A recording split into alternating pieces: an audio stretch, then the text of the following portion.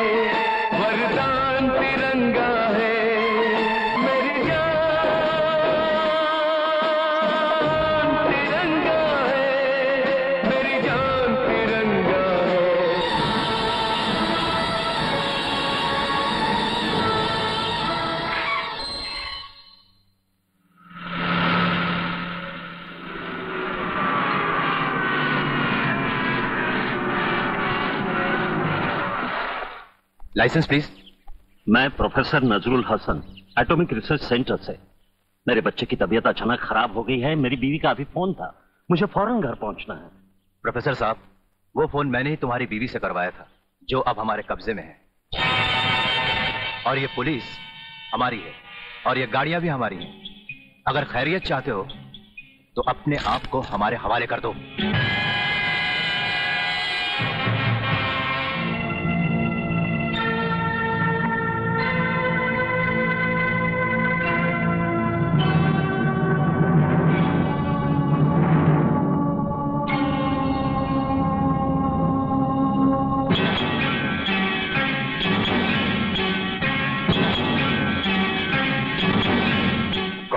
लोग प्रोफेसर जीना चाहते हो तो चुपचाप हमारे साथ चलो।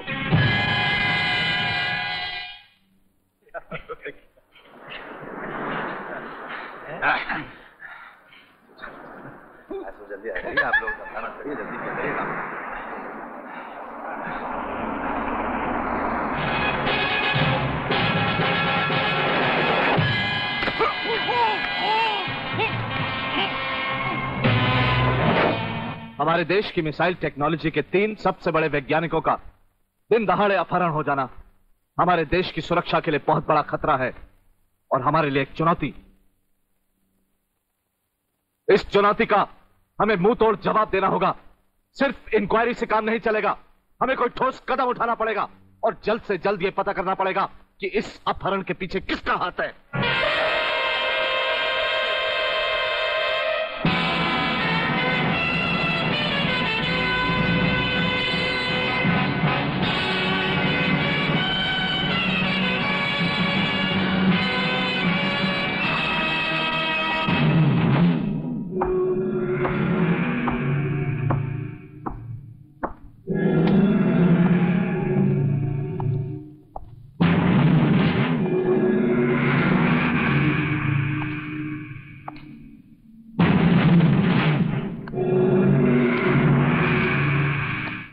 डॉक्टर विजय रेड्डी, प्रोफेसर नजरुल हसन और प्रोफेसर रंगा स्वामी, हिंदुस्तान के मशहूर वैज्ञानिक। मेरी बात अच्छी तरह से अपने दिमाग में उतार लो। मैं हिंदुस्तान को दोबारा गुलाम बनाना चाहता हूँ। इसीलिए मैंने यहाँ पर मिसाइल बनाने का प्लान तैयार किया है। और वो मिसाइल तुम्हें बनाने होंगे। तुम्हारा नाम जो भी हो, मैं जानना नहीं चाहता। मगर एक बात तुम अच्छी तरह समझ लो। हम अपनी जान दे सकते हैं मगर देश के साथ गद्दारी नहीं कर सकते। अच्छा ये बात है तो फिर जान ही दे दो।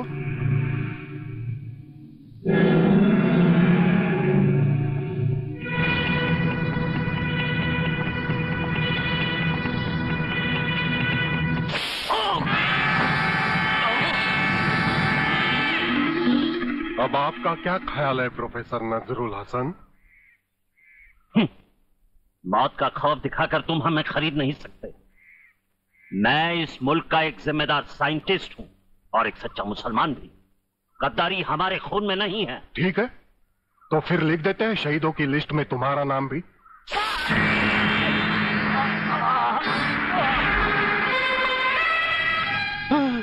नहीं नहीं मुझे मत मारो।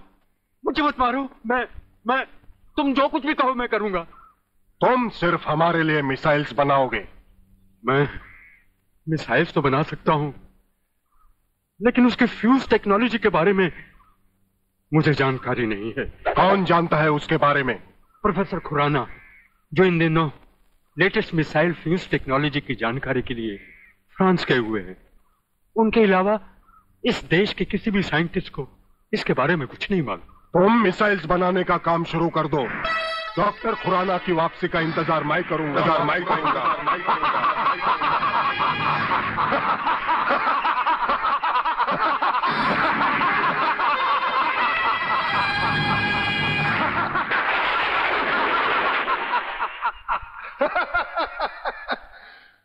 बर्बादी बर्बादी और बर्बादी। जिस देश में ऊपर से नीचे तक लोग अपने स्वार्थ के लिए जी रहे हो उस देश का भविष्य बर्बादी के सिवा और क्या हो सकता है? जिन गधों को एक साथ मिलकर रहना भी नहीं आता, उनको आपस में लड़ाकर तोड़ देना ही बेहतर होगा। मेरा नाम प्रलयनाथ गुंडा स्वामी है। आने वाली 15 अगस्त को इस देश में मैं ऐसा प्रलय लाऊँगा कि आज़ाद हिंदुस्तान को गुलाम बनाना एक चीटी मारने के बराबर होगा। और गुलामी का मतलब है हमारा हुकूमत। और इसीलिए तो हम इस बार पहले से ज़्यादा खतरनाक और लेटेस्ट हथियारों की पूरी स्टीमर लेकर आए हैं जिससे कि आप इस देश में आतंक ही आतंक फैला सके। Thank you thank you mister Tom और उन हथियारों और खतरनाक बॉम्बों को हमारे सारे राज्य में फैलाने के लिए हमारे ये एजेंट भी मौजूद है जो बहुत खतरनाक है। क्यों डैडी? हाँ बेटे। कर देते हैं दो तीन महीने में पूरे हिंदुस्तान में नए हथियारों का हंगामा। नो प्रॉब्लम प्रॉब्लम है सर सबसे बड़ी प्रॉब्लम सॉल्व करना अभी बाकी है। आपकी तारीफ़? पुलिस ऑफिसर सत्यवादी दुबे। मगर यह सिर्फ़ नाम का ही सत्यवादी है। इसका काम तो बस पूछो ही मत। यू समझो कि पगार सरकार की खाता है लेकिन काम हमारा करता है। वो भी पूरी वफादारी के साथ। ओह फिर क्या प्रॉब्लम है mister Satyavadi Dubey? Sir main problem है डीआईजी रुद्र प्रताप चौहान। उसके होते हुए हमारा कोई भी काम मुमकिन नहीं। नामुमकिन को मुमकिन करने का दूसरा नाम रुद्र प्रताप चौहान है वागले। मेरे जीते जी प्रलयनाथ का कोई भी काम होना इम्पॉसिबल है। तुम खबरी लाल को इतला कर दो। उनकी हर चाल पर कड़ी से कड़ी नज़र रखे। डीआईजी साहब दुश्मन के साथ साथ अपनी सेहत पे भी जरा कड़ी नज़र रखिए। नाश्ता तैयार है। कल की तरह भूल मत जाना जो बिना नाश्ता किए ही ऑफ़िस चल दिए थे। अरे मैं भूल गया तो क्या हुआ? तुम तो नहीं भूलती ना? अरे तुमने तो ऑफ़िस में नाश्ता भेज दिया था। अरे भाई हमारे साहिबजादे कहाँ हैं? दो तीन दिन से दिखाई नहीं देते। एग्ज़ाम्स आ रहे हैं ना? दिन रात पढ़ाई में लगा रहता है। अरे भाई पढ़ाई तो हमने भी की लेकिन ऐसी पढ़ाई कभी नहीं देखी। न खाने का होश न पीने का। उसको आपकी तरह पुलिस ऑफिसर नहीं बनना है। उसे बनना है पायलट। और पायलट बनने के लिए पढ़ाई में ध्यान देना बहुत ज़रूरी है। अच्छा जी। इसका मतलब ये है कि पुलिस ऑफिसर बनने के लिए पढ़ाई लिखाई की ज़रूरत ही नहीं है। ऑफिसर यू ही बन जाते हैं, यही कहना चाह रही है ना? अभी जाकर देखता हूँ आपके साहबजादे पायलट साहब कैसे हवाई जहाज़ उड़ा रहे हैं।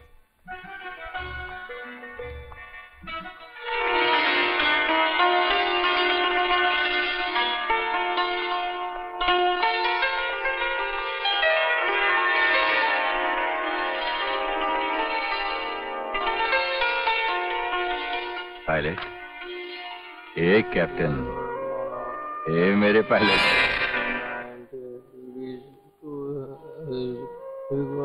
अरे उठ। Good morning daddy good morning son ये भी कोई तरीका है बेटे? ऐसी पढ़ाई तो हमारे साथ पुश्तों ने कभी नहीं की। यही तो हम भी से कई बार समझा चुके अंकल कि आखिर पढ़ाई की भी कोई हद होती है। नहीं यार मैं भी यही कहना चाहता हूँ। अरे पायलट तो मेरे अंकल मरून सलीम खान वल जहांगीर खान वल अकबर खान भी बने थे। मगर पढ़ाई से ज़्यादा उनका ध्यान दूसरी चीज़ों में रहता था। अब आप ही बताइए अंकल आप एक डीआईजी हैं। क्या आपने भी पढ़ाई के अलावा? मेरा मतलब देखो बेटे पढ़ाई लिखाई बहुत ज़रूरी है। लेकिन सेहत का भी ख्याल रखना चाहिए ना? उठो नाश्ता करो चलो। बाय लोग। समझे मिस्टर किताबी कीड़े? अरे संजू किताबों की ये बोरिंग दुनिया को छोड़ और हमारे साथ रोमांस की रंगीन दुनिया में चल। पिक्चर की टिकटें लाए हूँ यार। और वो भी श्रीदेवी की सेक्सी फ़िल्म बाथरूम के दो दो सीन है यार। मज़ा आ जाएगा। अबे श्रीदेवी की हो या माधुरी की? सेक्सी या सोशल मुझे कोई फ़िल्म देखनी नहीं है। चलना यार। चलना यार। अरे मैं कहता हूँ निकलो यहाँ से। अरे, अरे, निकलो अरे, गई अरे, तुम्हारी अरे, टिकट भाड़ में। रोज आ जाते सुबह सुबह मेरा चलो ना खुद पढ़ते ना मुझे पढ़ने देते सेक्सी फ़िल्म देखेंगे। पढ़ाई करियो सेक्सी फ़िल्म देखो। हेलो संजू बाबू मैं संध्या जी का नौकर राम लखन बोल रहा हूँ। संजू बाबू संध्या जी बेहोश हो गई हैं। क्या? हाँ और उन्हें अग्रवाल नर्सिंग होम में भर्ती किया गया है। Agarwal nursing home?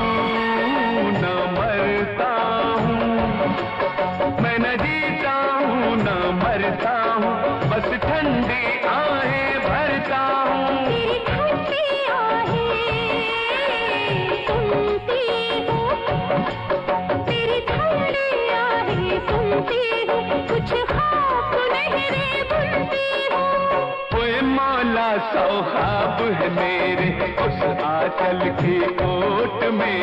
सुनता हूँ मेरे प्यार के चर्चे फैले तीनों लोक में। मेरी जान बचा दे फंस गई दिल के रोग में। ओए मौला मेरे मुझको बचा ले पड़ गया मैं तो सोच में। फंस गई दिल गया मैं तो सोच में।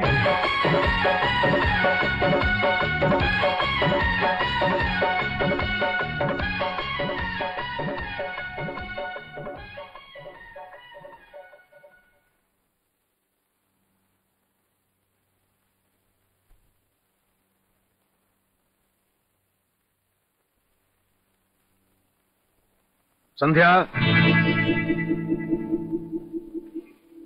कहाँ गई थी? अरे मैं पूछ रहा हूँ कहाँ गई थी? अरे बोलती क्यों नहीं? ओहो इतना चिल्ला क्यों रहे हो? भूल गए आज सोमवार है। बेचारी का मौन व्रत है। मंदिर गई थी पूजा करने। आपका बस चले तो आप तो उसे भगवान के दर्शन भी ना करने दें। अच्छा। जा बेटी जा तू अंदर जाकर आराम कर। जा अरे अरे क्या हुआ बेटी मम्मी वो चूहा। बोली बोली बोली बोली। देखा टूट गया तुम्हारी लाडली बेटी का सोमवार का मौन व्रत? हम्म, अब मैं अपना मौन व्रत तोड़कर इसके संडे के मौन व्रत की प्रेम कहानी तुम्हें सुनाऊं। प्रेम कहानी? जानती हो? इसने अपने बॉयफ्रेंड से मिलने के लिए कितना बड़ा ड्रामा किया। ड्रामा जी हाँ ड्रामा अग्रवाल नर्सिंग होम में बेहोशी का नाटक करके भर्ती हो गई और वहाँ के स्टाफ को पैसे खिलाकर अपने दोस्तों को बुलाकर नाच गाना किया। पूछो अपनी लाडली अरे हैं? इसे शादी की हथकड़ी पहनानी पड़ेगी। सर खबरीलाल आपसे मिलना चाहता है। अंदर भेजो उसे। राइट सर तुम अंदर जा सकते हो।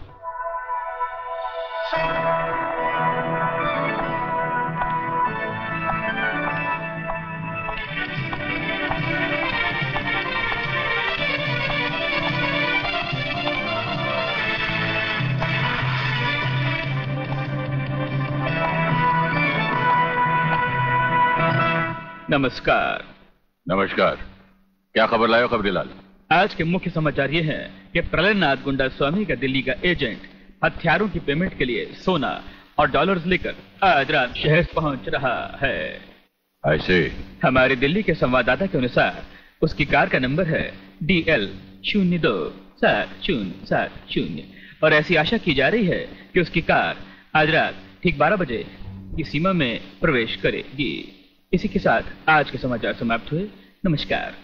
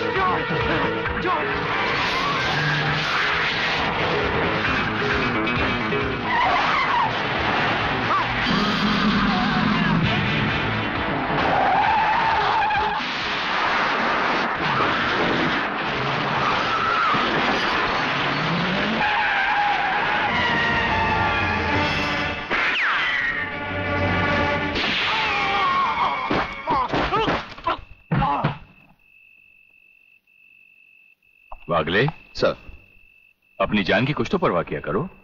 आप ही ने तो सिखाया सब ट्रेनिंग कॉलेज में।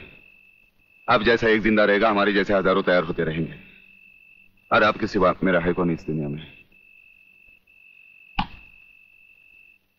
I am proud of you thank you sir Jeevanlal Tandel तुम्हारी सरकार किसके बलबूते पर बनी?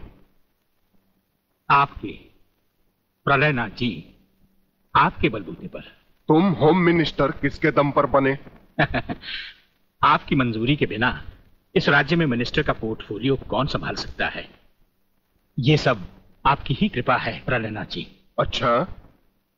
फिर वो खाकी वर्दी वाला रुद्र प्रताप चौहान इस खेत की मूली है? उसने हमारा सोने चांदी का धंधा बंद करवा दिया। हमने गुस्से का घोट शराब में मिलाकर पी लिया। उसने हमारे जुए खाने, शराब के अड्डे, जिसमें फरोशी के धंधे, सब चौपट कर दिए। मैंने अपने गुस्से को आँखों के लाले में लाके डुबो दिया। यह सब तो मैंने बर्दाश्त कर ही लिया। मगर मेरी ज़िंदगी के आखिरी मकसद को नाकाम करने की उसकी कोई भी कोशिश अब मैं बर्दाश्त नहीं कर पाऊँगा। मुझे 24 घंटे के अंदर उसकी ट्रांसफ़र चाहिए। क्षमा कीजिए प्रलयनाथ जी। ये कदाचित नहीं हो सकता। मैं हाई कमांड से भी इस मामले में चर्चा कर चुका हूँ। रुद्र प्रताप का ट्रांसफ़र असंभव है। जो संभव होता है उसे हम जैसे सत्यवादी पुलिस ऑफिसर की मदद से गुंडा स्वामी आप संभव कर सकते हैं। क्या मतलब? मतलब है रुद्र प्रताप की मौत। मगर तुम तो आज तक यही बकते आए हो कि ना ही कहीं वो अकेला जाता है और ना ही निहत्ता मगर अब ये भी बकता हूँ कि वो एक जगह अकेला भी जाता है और निहत्ता भी।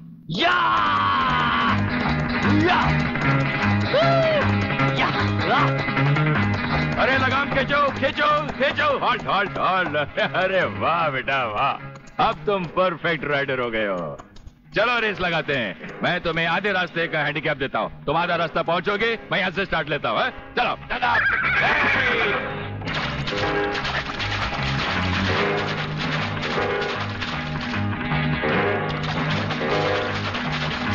चलो पापा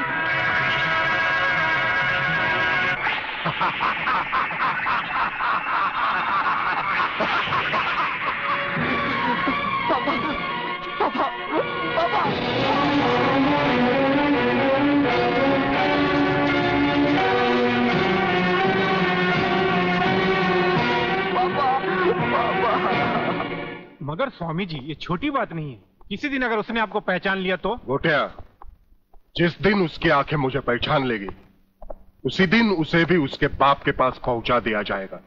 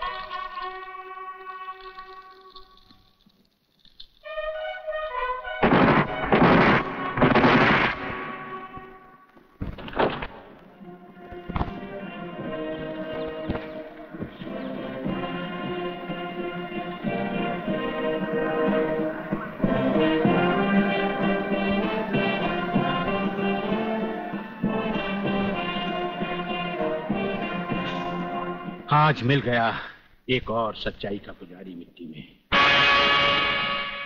आग इनके शरीर को तो राख कर देगी, लेकिन इनकी आत्मा की आवाज़ कभी मिल नहीं पाएगी। पुलिस डिपार्टमेंट के इतिहास में टीआईजी रुद्र प्रताप चौहान का नाम सुनहरे अक्षरों में लिखा जाएगा। बहन भगवान की मर्ज़ी के सामने इंसान बेबस है। मुझे आपके परिवार के साथ पूरी हमदर्दी है। बहुत हो गई हमदर्दी। मंत्री साहब ये भाषण बंद कर दीजिए। कुछ ही दिनों के बाद आप ही के डिपार्टमेंट के लोग जब इनका घर खाली करवाने जाएँगे ना तब मैं पूछूँगा आपको हमदर्दी के बारे में। बागले कंट्रोल योरसेल्फ जब तक हमारे डिपार्टमेंट के गद्दार और खादी के कपड़े के पीछे छिपे हुए दरिंदा ज़िंदा रहेंगे ना ये ये चिताएँ ऐसी ही जलती रहेगी एक के बाद एक। कुछ चंद सिक्के मिलेंगे भाभी को सरकार की तरफ़ से भविष्य के लिए। बागले स्टॉप इट बोलने दो इसे। ठीक ही तो कह रहा है। लेकिन मैं वचन देता हूँ कि डीआईजी रुद्र प्रताप की कुर्बानी व्यर्थ नहीं जाएगी। मैंने दिल्ली में केंद्र सरकार से बात कर ली है। इनकी हत्या की तुरंत ही न्यायिक जाँच होगी। आज तक कौन सी कमेटी ने सही जाँच करके मुजरिम को सजा दी है? यह आपकी कमेटी समिति की जाँच की फाइलें होती है ना? ये ढुलमुल सरकार बदलते ही गुम हो जाती है। न्यायिक जाँच करेगी दिल्ली अंधी और वैरी दिल्ली। ये दिल्ली बस मुँह है इसलिए पटर पटर करती रहती है। ये करना है ये होना चाहिए हमें दिखाना है। बस दिल को तसल्ली देने के लिए अच्छा लफ्ज है दिल्ली। इंस्पेक्टर वागले मैं तुम्हें सस्पेंड करता हूँ। बस सस्पेंड होते होते मैं थक गया हूँ। निकाल दो मुझे नौकरी से। सच्चे पुलिस की या तो मौत होती है या तो सस्पेंड किया जाता है। इस वर्दी ने मेरे हाथ काटे वरना एक एक गले चीप देता मैं।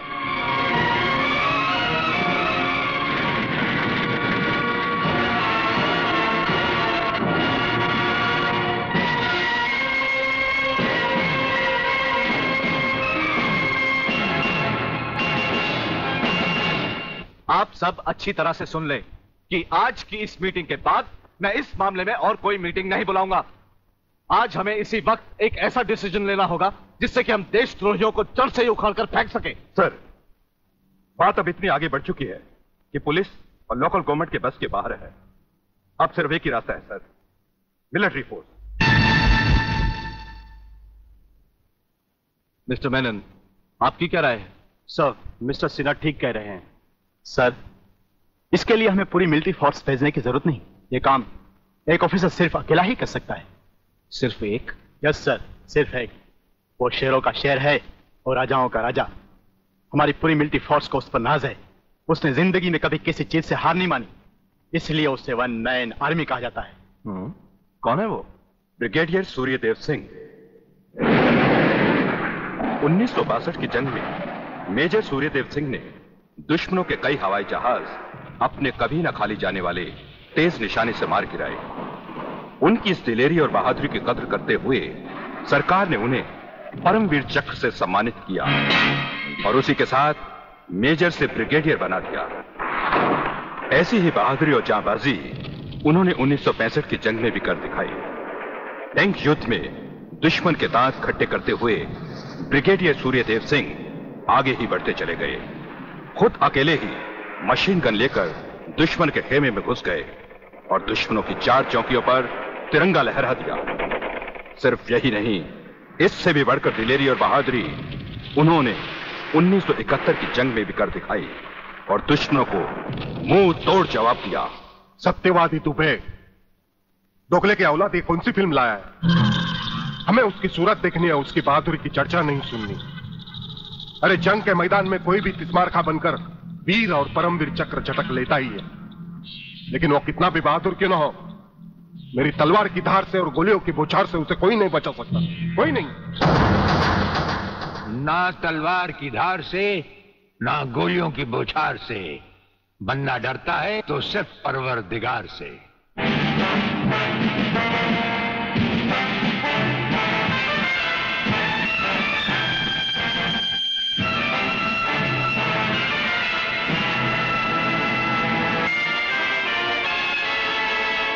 ब्रिगेडियर सूर्यदेव सिंह। अच्छा तो यही है तुम्हारा ब्रिगेडियर सूर्यदेव सिंह। ढूंढ डालो इसे। खबरदार कोई हिलेगा नहीं। हमारे कमांडोज ने तुम्हारे सब साथियों को घेर रखा है। स्वामी जी जरा अपने पीछे भी नज़र डालो। ये कमांडो बड़ा खतरनाक है। तुम्हारा बाप है। पत्ता हिलने से पहले ही पेड़ काट डालता है। तुम्हारी भलाई अब इसी में है कि बिना हिले जुले खामोश खड़े रहो।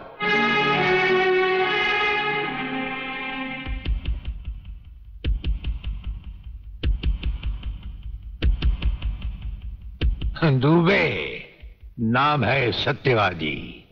सत्यवादी दुबे जैसे गधे की पीठ पर घोड़े की जीन अच्छी नहीं लगती, वैसे ही तुम्हारे कंधों पर ये सितारे अच्छे नहीं लगते। और ये कमरबंद पेटी भी अच्छी नहीं लगती।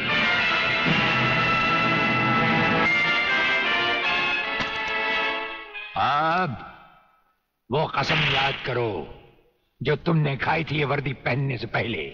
हम कसम खाते हैं कि हम पूरी ईमानदारी और वफादारी से देश और कानून की रक्षा करेंगे।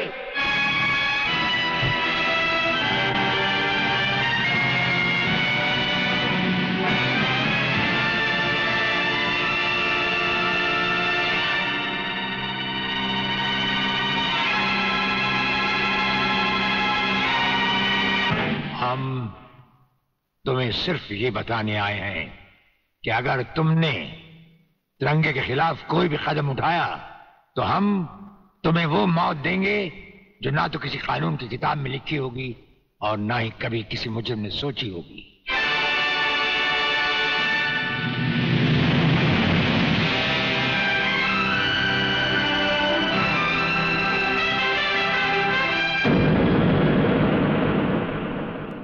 Hello?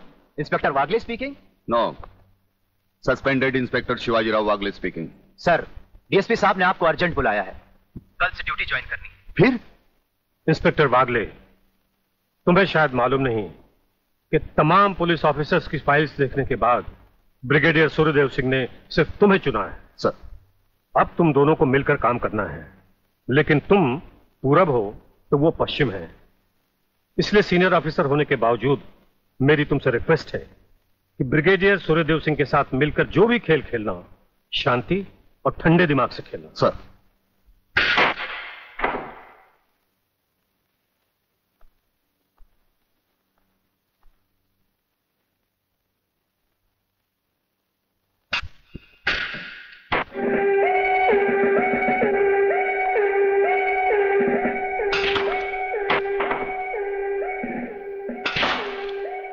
प्यार से खेलते हैं आप। असली खिलाड़ी मरने वाले दुश्मन को पता भी नहीं चलने देते कि कब होगी उसकी मौत। तो फिर प्रलयनाथ को छोड़ क्यों दिया? क्या उससे गले मिलने गए थे? गले मिलने गए थे। उसके गले का माप लेने गए थे कि वो फंदे की मौत मरेगा या हमारे पंजे की। वागले गरम जोशी अच्छी चीज़ है लेकिन हमेशा काम नहीं आती। तुमने तो देखा ही होगा इसी गर्मजोशी की वजह से तुम कई बार सस्पेंड हो चुके हो। नौकरी की परवाह है किसको? यहाँ है कौन अपने पीछे रोने वाला? इस ईमानदारी की वजह से बहुत कुछ भुगता है। कोई तकरार नहीं है सर। लेकिन ये गुनाहगार कानून को हाथ में लिए फिरते हैं। और मैं हमेशा कानून के दायरे में रहकर काम नहीं कर सकता। अपना तो उसूल है पहले लात फिर बात उसके बाद मुलाकात। भाई वागले अपना तो उसूल है। पहले मुलाकात फिर बात और फिर अगर ज़रूरत पड़े तो लात। बड़ी उम्मीद थी आपसे। लेकिन अब पता चला आपका रास्ता अलग मेरा रास्ता अलग। आप नरम खून के मैं गर्म खून का। हम एक साथ काम नहीं कर सकते सर। वागले तुमने समझा कि ज़िंदगी में सिर्फ़ तुमने ही बहुत कुछ खोया है। इस इंसान को देखो जब चाहता एक घर बसा सकता था लेकिन नहीं। इस अकेली जान को हमने अपने देश के लिए उठा रखा है। दोनों का मकसद एक है मंजिल एक है। सिर्फ़ रास्ते अलग अलग हैं। नहीं वागले। हमारे रास्ते भी एक हैं मंजिल भी एक है। और फिर इतनी बड़ी दुनिया में तुम्हारा कौन है? कोई भी नहीं सिवाय फ़र्ज़ के। इस दुनिया में हमारा कौन है? कोई भी नहीं सवाए फ़र्ज़ के। अगर फ़र्क है तो सिर्फ़ सोचने के ढंग में और काम करने के तरीके में। अब हमें इस फ़र्क को मिटाते हुए ये युद्ध एक साथ लड़ना होगा।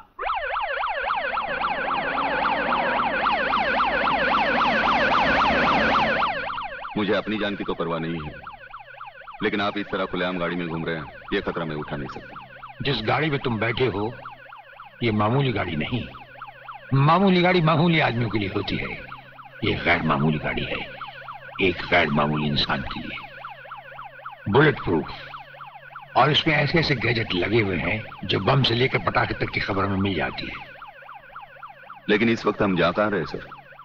गाड़ी रुकने पर तुम्हें खुद ब खुद पता चल जाएगा।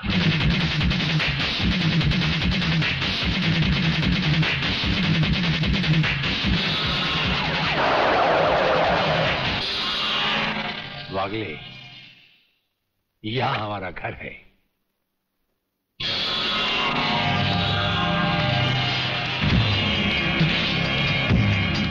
यहाँ तो सिर्फ़ चारों तरफ़ जंगल ही जंगल नज़र आ रहा है। रहने की तो कोई जगह ही नज़र नहीं आ रही। अभी नज़र आ जाएगा। बहादुर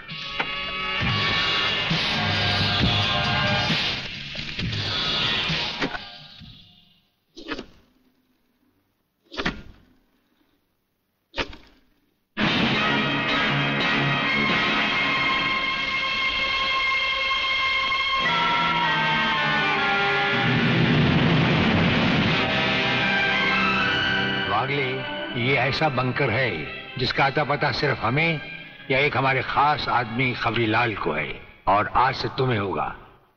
ये इतना मज़बूत है कि इस पर ना तो कोई हवाई हमले का असर हो सकता है, और ना किसी बम या बारूद का। दुश्मन तो क्या हमारी इजाज़त के बगैर परिंदा भी पर नहीं मार सकता। वागले आओ, अब हम तुम्हें अपने बंकर से वाकिफ करवाएँ। ये रहा हमारा ट्रांसमीटर सेक्शन। यहाँ से हम हिंदुस्तान के किसी भी मिनिस्टर से जब जी चाहे हॉटलाइन पर बात कर सकते हैं। लेकिन आसमान वाले ने चाहा तो इसकी ज़रूरत कभी नहीं पड़ेगी। हम अकेले ही तुम्हारे साथ वागले सब कुछ संभाल लेंगे। और वो देखो, वो एक कमरा, जिसमें सब हथियार रखे हुए हैं। और उस कोने में रहा हमारा अस्पताल। यहाँ हर लाए दुश्मन का सीटी स्कैन करके उसकी अंदरूनी बीमारियों को बाहर निकाला जाता है। मुझे छोड़ दीजिए ब्रिगेडियर साहब। मैं सच कहता हूँ मैं प्रलयनाथ के बारे में कुछ नहीं जानता। मुझे छोड़ दीजिए ब्रिगेडियर साहब। और छोड़ तो तुम्हें ज़रूर देंगे लेकिन तुम मोटे बहुत हो। थोड़ी चर्बी कम होने के बाद। ये अस्पताल मेरे हवाले कर दीजिए सर। चर्बी कम करने के बहुत से तरीके मुझे मालूम हैं। हाँ गुड वागले।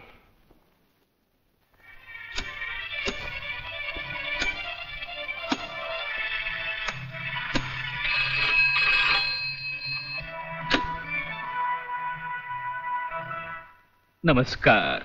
सर मैं खबरीलाल बोल रहा हूँ। ओ खबरीलाल। आज के मुख्य समाचार ये हैं कि प्रलयनाथ गुंडा स्वामी ने खतरनाक किलर बब्बन खूनी को आपको खत्म करने के लिए एक बहुत बड़ी सुपारी दी है। हमारे नाम की सुपारी खाने वाले को ज़िंदगी भर दांत चबाने पड़ेंगे। ये हमारे नाम की सुपारी खाने वाले चिमगादड़ के खाने पीने का ढाबा कहाँ है खबरीलाल? शहर से 40 मील दूर काली पहाड़ी के पीछे उसका एक अपना बहुत बड़ा मैंगो फार्म है। आज के समाचार समाप्त हुए।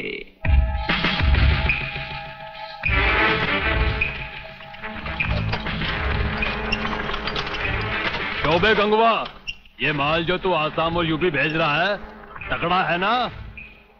तगड़ा क्या सरकार? ये नंबर वन फ़सल है नंबर वन अरे 25 मीटर दूरी पर जाती हुई गाड़ी को ये ऐसे उड़ाता है।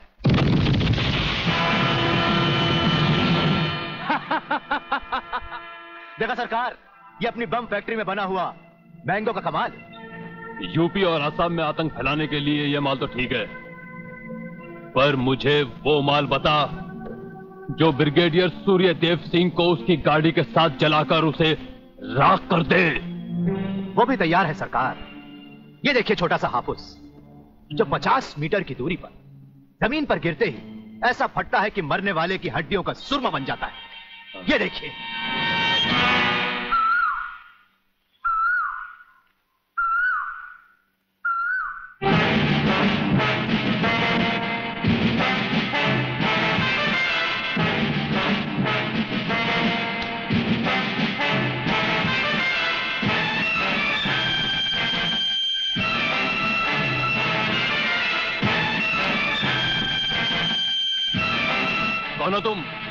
लगता है बब्बन मियाँ ने कल रात अपनी आँखों में सुरमा नहीं लगाया।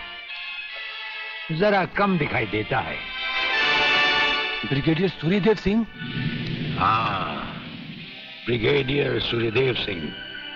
बब्बन मियाँ हमें तो उसी के हाथों से मरना है जिसने हमें इस दुनिया में पैदा किया।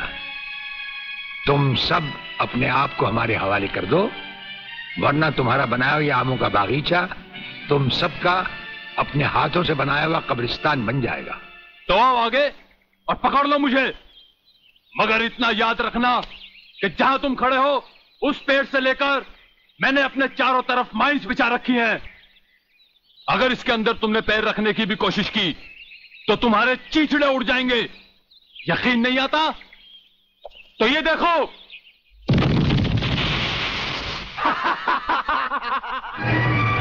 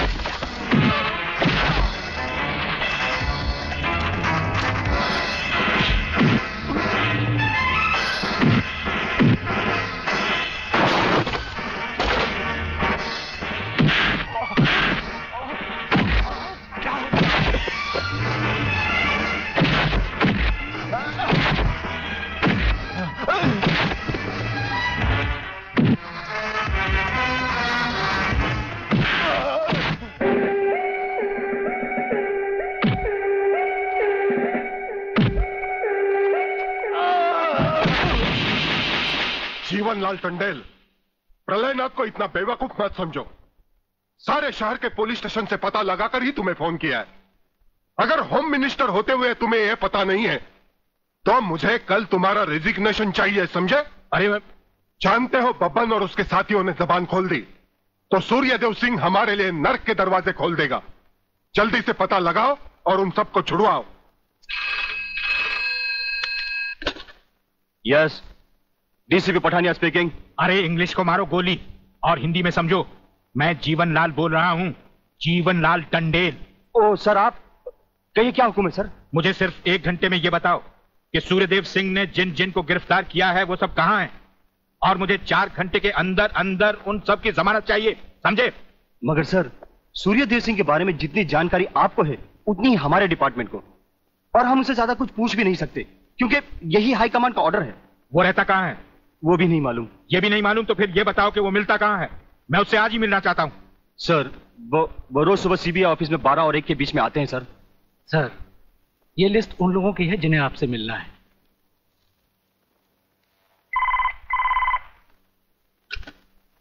सर मंत्री जी आपसे मिलना चाहते हैं। हाँ टंडेल का नाम है क्या इसमें? जी नहीं सर। आ, आज तो हम अपना एक एक मिनट दूसरों को दे चुके हैं। दम लेने की भी फुर्सत नहीं होगी। आ, ऐसा करो मंत्री जी को कल दोपहर के बाद की कोई भी अपॉइंटमेंट दे दो। Okay sir. Sir you can't meet him today अरे अंग्रेज़ी को मारो गोली और हिंदी में समझो। इस राज्य के एक मंत्री से मिलने के लिए उसके पास वक्त नहीं है। मैं पूछता हूँ वो हमारी खाता है या हम उसकी? इसमें आपकी और हमारे खाने की बात कहाँ से आ गई? तो ये है ब्रिगेडियर। आप यहाँ अचानक आप पधारे हैं और हम आज का सारा वक्त औरों को दे चुके हैं। आखिर हम सब जनता ही के तो सेवक हैं। कुर्सी मिलने पर ये समझ लेना कि सारी सरकार आप ही की है। इसे हम कैसे मान लें? आप मुझे ये ना समझाएँ कि सरकार किसकी है। आप सिर्फ़ इतना समझिए कि आप एक सरकारी नौकर हैं। और आपके सामने खड़ा हुआ ये इंसान इस राज्य का मंत्री है। खादी के कपड़े पहनने से और टोपी लगा लेने से कोई महात्मा गांधी नहीं बन जाता।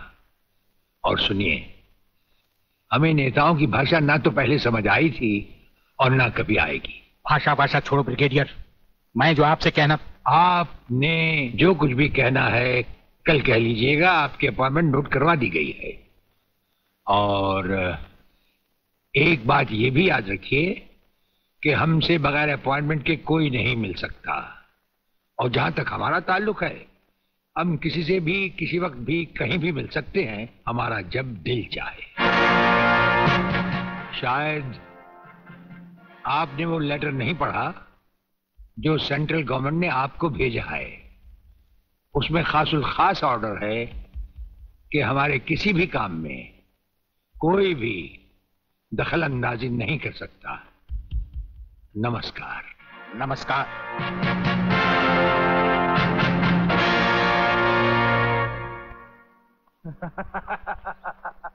Really? ओए। हाँ। गुड मॉर्निंग अंकल अरे अंग्रेज़ी को मारो गोली। और हिंदी में बात समझो हिंदी में। तुम ये बताओ तुम्हारे पिता कहाँ हैं? पिताजी अंकल तो ऊपर बैठे हुए हैं। आप ही का इंतज़ार कर रहे हैं। राधा तुम्हारे पिताजी बड़े उखड़े हुए लगते हैं। लगता है is something wrong in the ministry अरे रॉन्ग हो या राइट यही समझना होता तो मैं भी तुम्हारी तरह खादी के कपड़े पहन लेता। अरे सरकारी लेटर से मुझे क्या लेना देना? देखो तुम अभी से इतने ढीले पड़ जाओगे तो पूरी सरकार को भारतवर्ष से कैसे खत्म करोगे? वो सिर्फ़ एक मिलिट्री ऑफिसर है और हमें पूरी मिलिट्री फोर्स के साथ लड़ना है। भूल जाओ सारी बातें और फाड़ दो वो लेटर। देखो उसका ट्रांसफ़र ना हो तो ना सही। उसकी बातें हमें पता न चले तो न सही। लेकिन उसकी मौत का बंदोबस्त तो मैं कर सकता हूँ। प्रलयनाथ वो मर गया तो ये नेता भी कुर्सी समेत जल गया समझो। वो मरेगा भी और तुम कुर्सी के साथ जियोगे भी। आप किसकी बारी जेलर साहब? ब्रिगेडियर सूर्यदेव सिंह की। मारे जाने वाले पुलिस के उन शहीदों की याद में यह ज्योत बनाई गई है जिन्होंने कानून की रक्षा करते हुए अपने प्राणों की आहुति दी। आज के इस समारोह के मुख्य अतिथि माननीय मंत्री श्री जीवनलाल टंडेल हैं।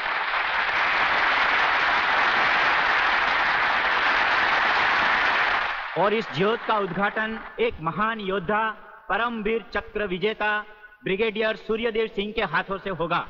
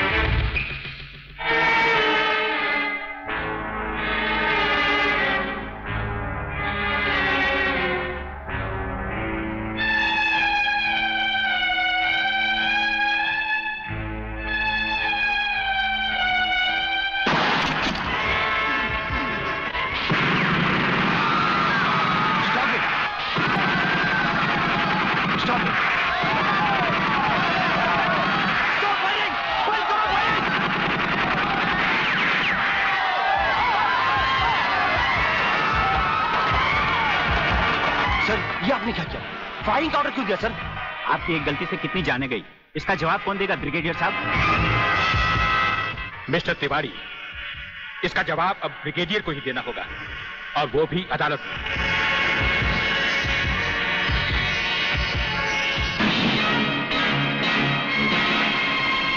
योर ऑनर शहीद स्मारक पर हुए गोलीकांड के जिम्मेदार ब्रिगेडियर सूर्यदेव सिंह ही हैं। इन्हीं के कहने पर गोली चलाई गई जिसमें कई बेगुनाह लोग मारे गए। अब मैं अदालत के सामने कुछ ऐसे गवाह पेश करूँगा जो इस हादसे को साबित कर देंगे। सबसे पहले मेरे गवाह हैं म्युनिसिपल काउंसलर मिस्टर एम के तिवारी।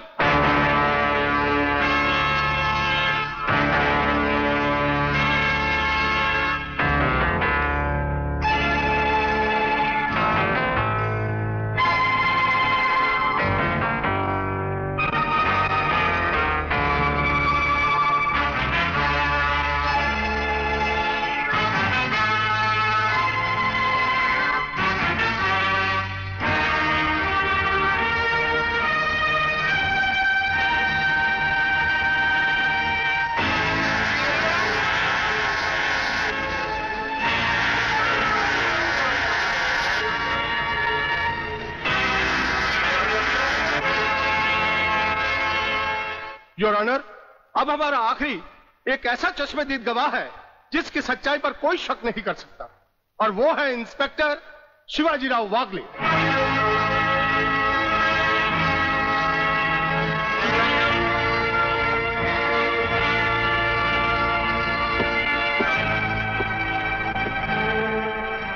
मैं गीता पर हाथ रखकर कसम खाता हूँ। जो भी कहूँगा सच कहूँगा, सच के अलावा कुछ नहीं कहूँगा। जज साहब, शहीद स्मारक पर जो भी कुछ हुआ मेरी आँखों के सामने हुआ।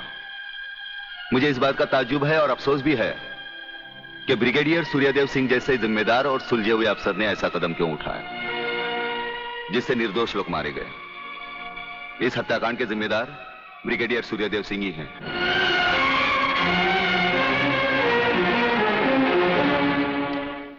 ब्रिगेडियर सूर्यदेव सिंह, अदालत ने आपके खिलाफ सारे बयान सुने। आप अपनी सफ़ाई में कुछ कहना चाहेंगे? या आपका कोई वकील है? हम अपनी डिफेंस खुद करेंगे। सिर्फ़ आपकी इजाज़त चाहिए। इजाज़त? है आप गीता पर हाथ रखकर कसम खाइए। जो भी कहेंगे सच कहेंगे सच के सिवा कुछ नहीं कहेंगे। जज साहब क्या अदालत को यकीन है कि गीता और कुरान या बाइबल जैसे पवित्र ग्रंथों पर हाथ रखकर जो गवाहियाँ दी जाती हैं वो सच होती है? अगर इन कस्मों के बावजूद भी गवाह सच नहीं बोलता तो फिर अदालत में इन पवित्र ग्रंथों का अपमान किस लिए, जज साहब?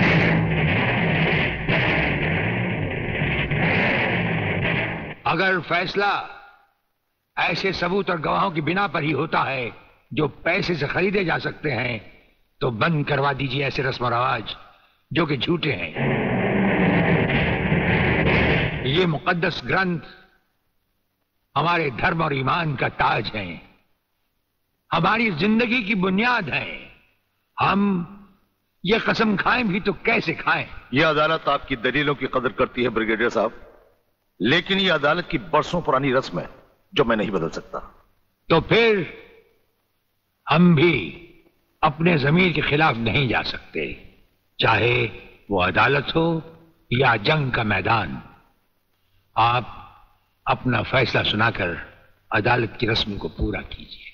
तमाम सबूत और गवाहों के बयानात को मद्देनजर रखते हुए यह अदालत इस नतीजे पर पहुँची है कि शहीद स्मारक पर बेगुनाहों पर पुलिस ने गोली ब्रिगेडियर सूर्यदेव सिंह के कहने पर चलाई।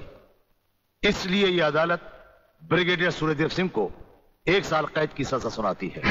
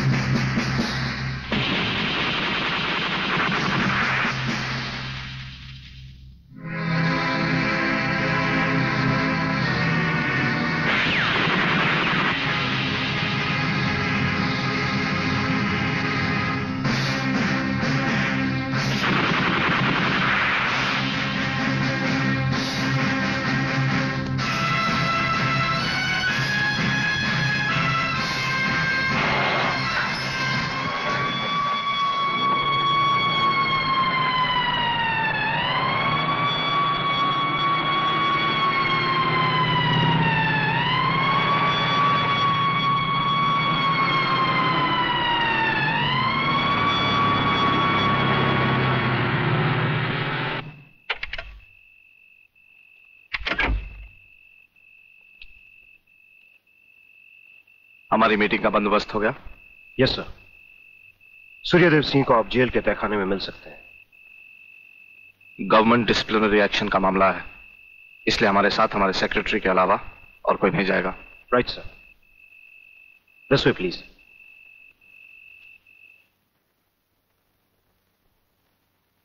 आप इधर उधर देखने की तकलीफ़ मत उठाइए मंत्री साहब। हम देख भी चुके हैं और सुन भी चुके हैं। यहाँ दीवारें तो हैं लेकिन इनके कान नहीं। आपका वागले से अलग हो जाना वागले का भरी अदालत में आपके खिलाफ बयान देना आपका गिरफ़्तार होना। भाई ये सब मेरी समझ में पूरी तरह से नहीं आया। इसलिए तो आपको हमने याद किया है। और जब कभी ज़रूरी समझा जाता है तो इंस्पेक्टर वागले इसी तरह भेस बदल कर हमसे मिलने यहाँ आते रहते हैं।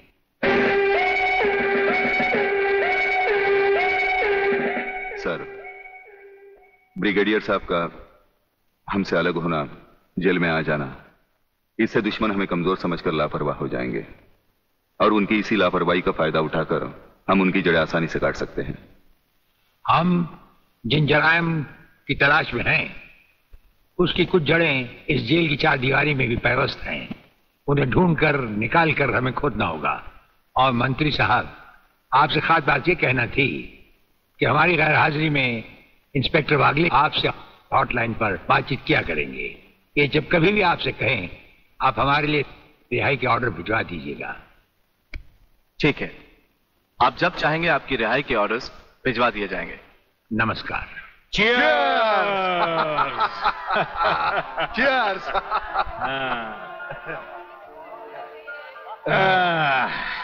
नया साल बहुत बहुत मुबारक हो प्रलयनाथ। नया साल तुम्हें मुबारक।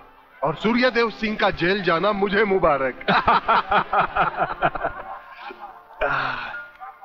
राधा बिटिया कहीं नज़र नहीं आ रही?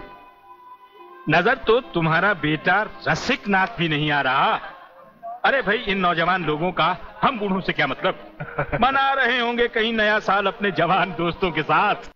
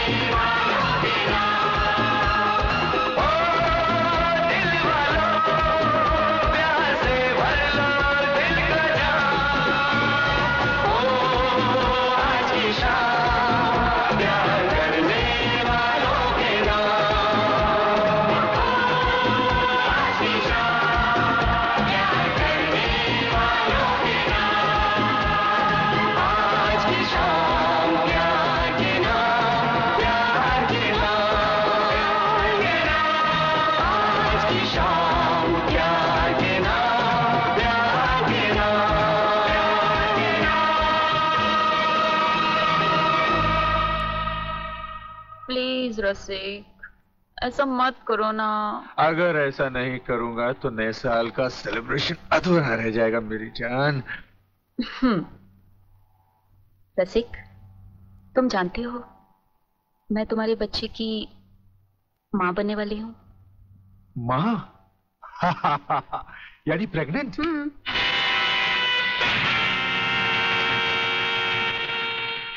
अनीता? तुम हाँ मैं। कह दो इसे भी। प्रेगनेंसी में परेशानी क्या है? करवा लो अबोशन। शादी बाद में कर लेंगे। अभी तो हम बच्चे हैं। क्यों? यही कहा था ना तुमने मुझसे? और न जाने किस किस से कहा होगा। अनीता अनीता कब तक तुम मुझे यूँ ही ब्लैकमेल करती रहोगी? राधा राधा ये सब तुमसे झूठ बोल रही है। ये मुझे बदनाम करना चाहती है। इसकी बातों में मत आना तुम। मैं भी तुम्हारी तरह इसकी भोली भाली बातों में आकर इसके बच्चे की माँ बनने वाली हूँ। बच्चे की माँ। अरे ना जाने किस किस का पाप अपने पेट में पालकर तू मुझे उसका पाप बना रही है। रसिकनाथ जिसका पाप मेरे पेट में है उसे पापी का अंत करने आई हूँ।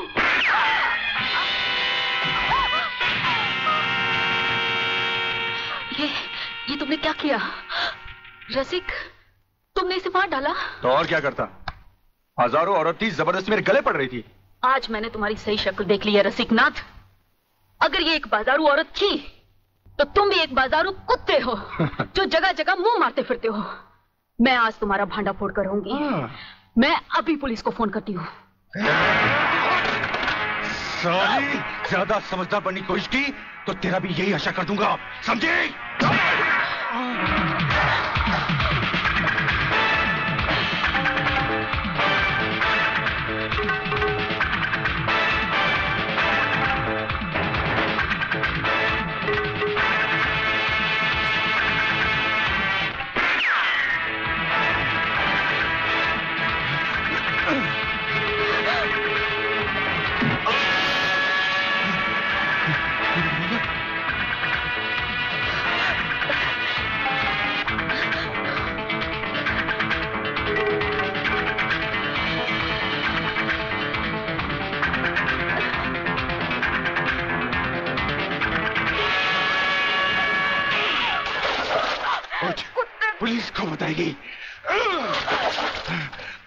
बताएगी ज़िंदा रहेगी तो पुलिस को बताएगी ना।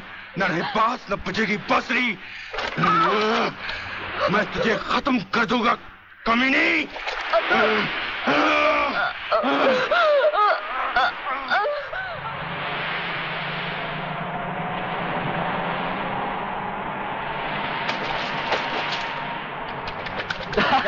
तो पीने का मज़ा ही नहीं आता। अरे क्या हुआ? अबे सामने देख। लड़की की लाश? अरे नहीं यार ये भी कोई हमारी तरह नशे और मस्ती में चूर लगती है। चलो उसे और पिलाते हैं। अपना भी नया साल सुधर जाए। अबे नया साल सुधारने के बच्चे अगर लफड़े में फंस गए ना तो ज़िंदगी बिगड़ जाएगी। हमें क्या मालूम वो ज़िंदा है या मुर्दा?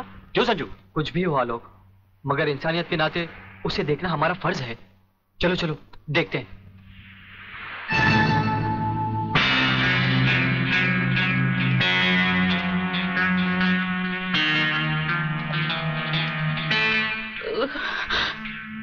मुझे मत मारो। प्लीज़।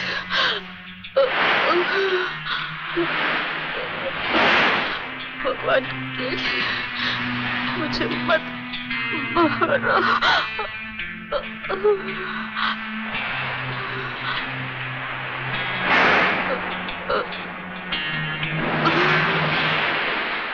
अरे, ये तो फिर से बेहोश हो गई। लगता है किसी ने इसे बहुत मारा है। चलो इसे अस्पताल ले चलते हैं। डॉक्टर साहब। यस।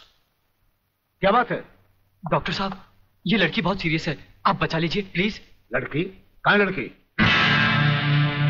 हम्म कौन है ये? हम नहीं जानते। तुम नहीं जानते तो इसे लेके क्यों आए हो? कहाँ से लाए हो? बीच से। ये हमें बीच पर बेहोशी की हालत में मिली थी। बेहोशी की हालत में?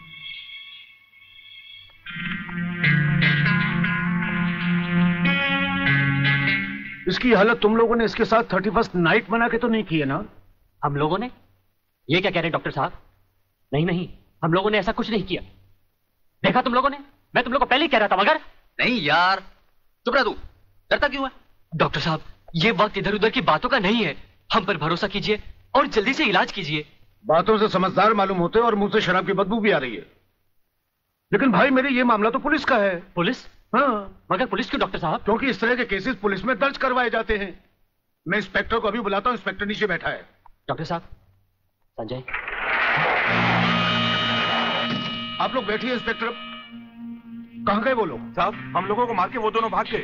क्या बात है डॉक्टर साहब? आप इतने परेशान क्यों हैं? इंस्पेक्टर साहब पता नहीं वो तीन लड़के इस लड़की को बेहोशी की हालत में यहाँ लाए। मैं आपको बुलाने गया इतने में वो भाग गए। भाग गए?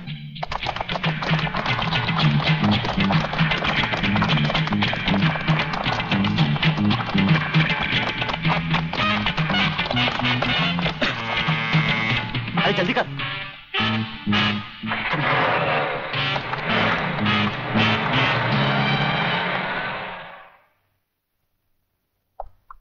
सर ये है उस लड़की की मेडिकल रिपोर्ट हम्म। रेप केस है? नो सर लड़की के पेट में दो महीने का बच्चा है. लड़की को होश आया? नो सर हम्म। उसका कुछ अता पता अब तो उसके होश में आने के बाद ही पता लगेगा कि वो कौन है और उसके पेट में बच्चा किसका है। अगल सेबी अगल अरे अगल सेबी अगल अरे बेटे अंग्रेज़ी को मार गोली और हिंदी में समझा क्या बात है? सगाश्री पिताश्री मेरे परलोक सुधारने का प्रबंध कर रहे हैं। अरे। तो वो मेरी हत्या कर तुम जैसी कमीना औलाद को मार डालना ही बेहतर होगा। देखता हूँ आज तुम्हें कौन बचाता है। प्रलयनाथ। तुम बीच में मत बोलो जीवनलाल। इस कमीने ने आज मेरी इज़्ज़त मिट्टी में मिला दी है। मैं इसे जान से मारू। बात क्या है? क्या किया है इसने? ये बात तुम मुझसे पूछो तो अच्छा होगा। अच्छा अच्छा। रुक जाओ शांति करो। बेटे रसिक चलो उठो। बताओ क्या बात है? हैं? अंकल अंकल मैं हाँ हाँ बोलो डरो मत। अंकल मैं एक लड़की से मोहब्बत करते हो यही ना? हाँ। तुम भी कमाल करते हो प्रलयनाथ। बेटे की मोहब्बत बर्दाश्त नहीं कर पाए। उसे मारने पर तो लाए अरे मोहब्बत करना तो आजकल के नौजवानों का फ़ैशन है। बात यह नहीं है जीवनलाल सच तो यह है कि इसकी मोहब्बत के चक्कर में वो लड़की इसके बच्चे की माँ बनने वाली। ओहो तो इसमें कौन सी नई बात है? करवा दो शादी। और अगर लड़की अपने बराबर की नहीं है तो करवा दो एबॉर्शन मगर जीवनलाल बात यह अरे है यार ऐसे मामले में बात बात कुछ नहीं होती। सीधी सी बात है।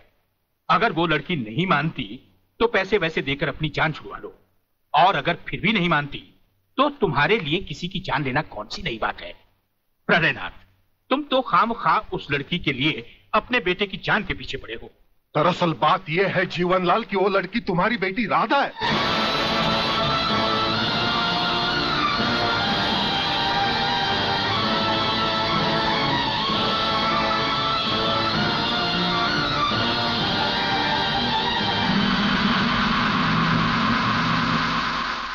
चीज़ें दर्ज कर ली?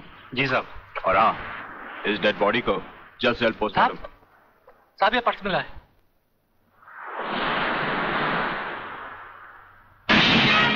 संजय आर चौहान? मेरा पर्स बीच पर या अस्पताल में गिरा है। अगर वो पुलिस को मिल गया तो कहीं हम फंस ना जाए। नहीं यार अरे जब हम लोगों ने कुछ बुरा किया ही नहीं है तो हम फंस क्यों जाएँगे? अरे मैंने पहले ही कहा था कि इस चक्कर में मत पड़ो उल्टे फंसेंगे। लेकिन मेरी सुनी किसने थी? मैं कहती हूँ डर डर के कब तक ये बात सबसे छुपाते रहोगे। चलो माँ जी को सब सच बता देते हैं सब ठीक हो जाएगा।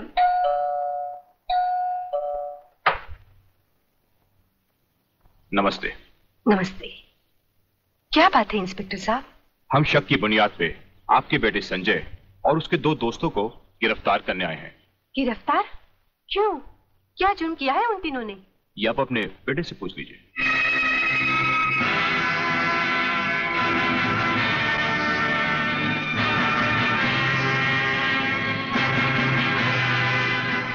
वाह गोटिया, वाह। क्या खुशखबरी लाया है। डीआईजी रुद्र प्रताप का बेटा पुलिस के फंदे में।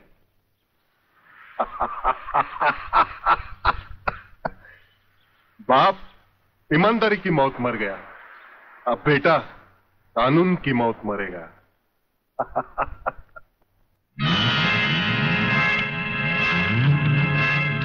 गोटिया, आप देखना।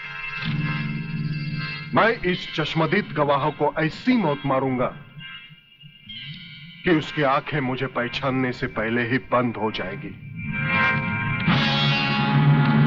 तुम उस डॉक्टर को खरीद लो और रिपोर्ट तैयार करवाओ जो मैं चाहता हूँ। यह समय सोचने का नहीं है बेटी। यह हम दोनों की ज़िंदगी और मौत का सवाल है। पिताजी पुलिस पूछेगी तो मैं क्या बताऊँगी? किसका नाम लूँगी?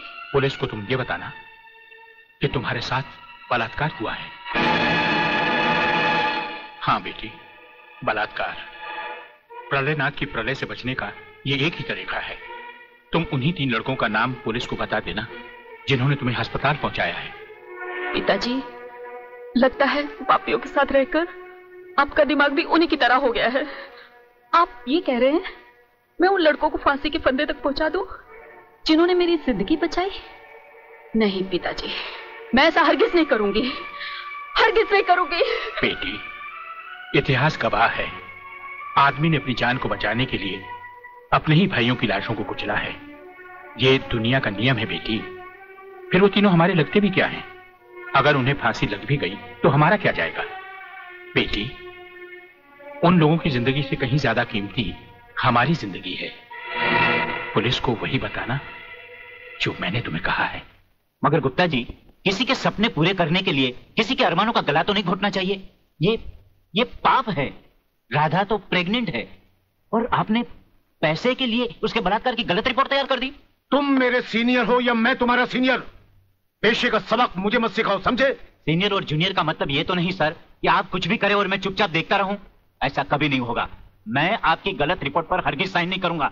जो उन तीन निर्दोषों को फांसी के फंदे तक पहुँचा दे। डॉक्टर सिन्हा आज से पाँच साल पहले डॉक्टर श्रीवास्तव ने इसी तरह की गलत रिपोर्ट पर साइन करने से इनकार कर दिया था। गुंडा स्वामी के आदमियों ने उसे छठी मंजिल से नीचे फेंक दिया और पुलिस ने उसकी मौत को आत्महत्या समझकर उसकी फ़ाइल हमेशा हमेशा के लिए बंद कर दी।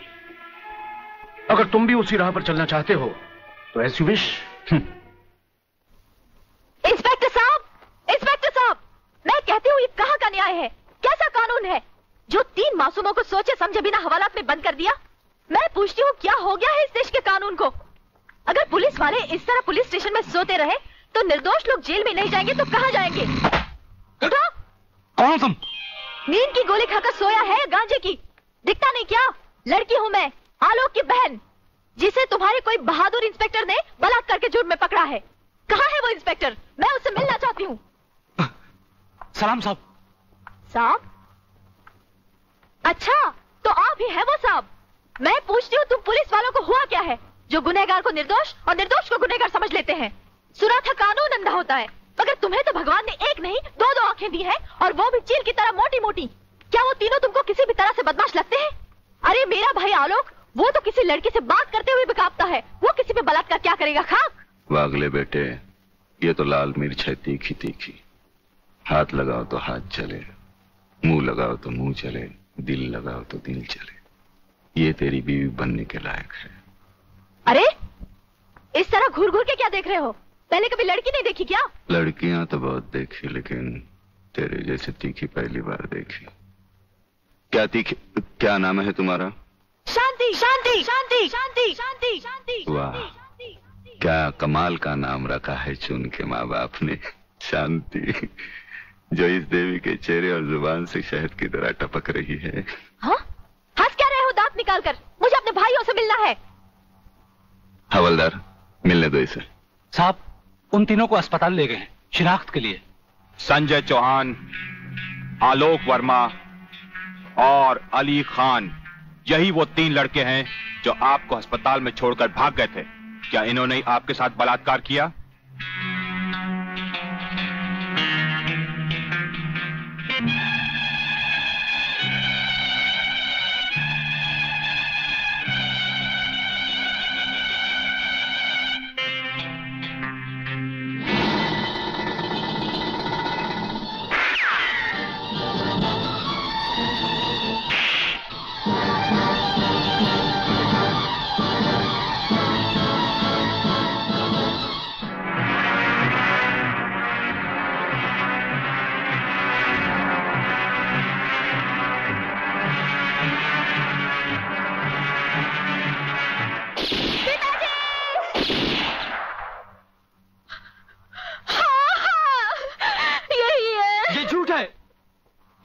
सरासर झूठ है हाँ, हमने कोई बलात्कार नहीं किया।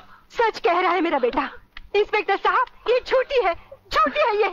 तुम लड़की नहीं लड़के के नाम पर एक कलंक हो। अरे जरा इन मासूम चेहरों को देखो जिन पर तुमने मौत की स्याही पोत दी है। इनकी सहमी हुई आँखों को देखो जिनमें तुमने मौत की दहशत भर दी है। और फिर मेरी आँखों में आँखें डालकर देखो क्या इन्होंने तुम्हारे साथ बलात्कार किया था? इंस्पेक्टर कौन है ये औरत? इसे बाहर ले जाओ हवलदार पकड़ लो इसको। खबरदार अगर किसी ने भाभी को हाथ लगाया तो।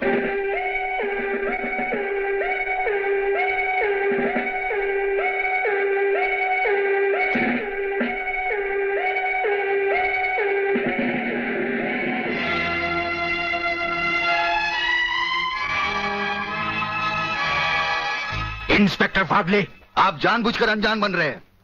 आप अच्छी तरह जानते हैं कि डीआईजी रुद्र प्रताप चौहान की पत्नी है। याद है डीआईजी रुद्र प्रताप चौहान? जिनके अंतिम संस्कार पर आपने लंबा चौड़ा भाषण झाड़ दिया था जो आज भी हम पुलिस डिपार्टमेंट के लिए आदर्श है उनकी पत्नी है। तो ये भी किसी मामूली आदमी की बेटी नहीं है। ये इस राज्य के मंत्री जीवन लाल टंडेल की बेटी है। और जानते हो इन तीनों ने इसके साथ क्या नर्ज किया है? कुछ नहीं किया ये किसी की साजिश है जिसमें इन तीनों को फंसाया जा रहा है। लेकिन मैं भी दूध का दूध और पानी का पानी करके रहूँगा।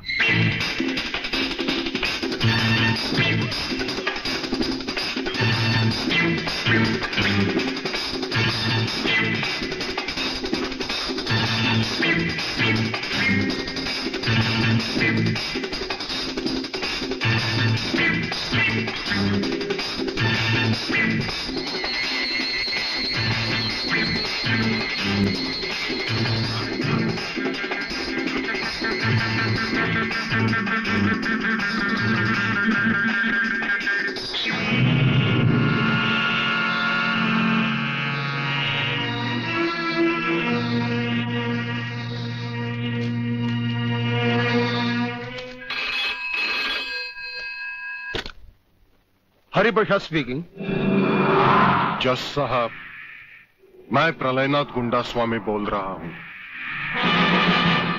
your honour dancer miss Anita Chaudhary की लाश का समुद्र के उसी किनारे से मिलना और उसी जगह से राधा टंडेल के कपड़े और सैंडलों का मिलना।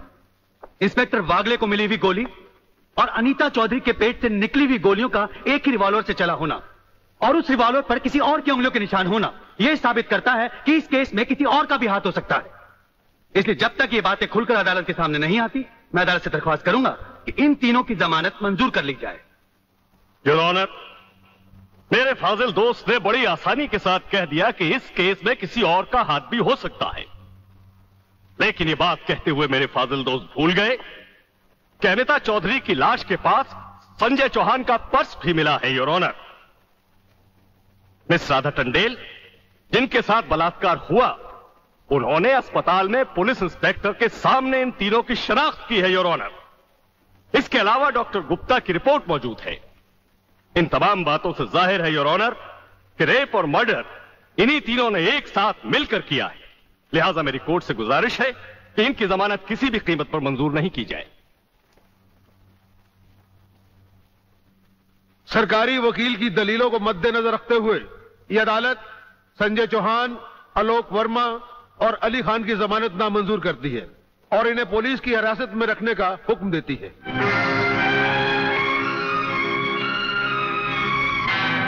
योर ऑनर मैं इंस्पेक्टर वागले इस केस की छानबीन मैं कर रहा हूँ।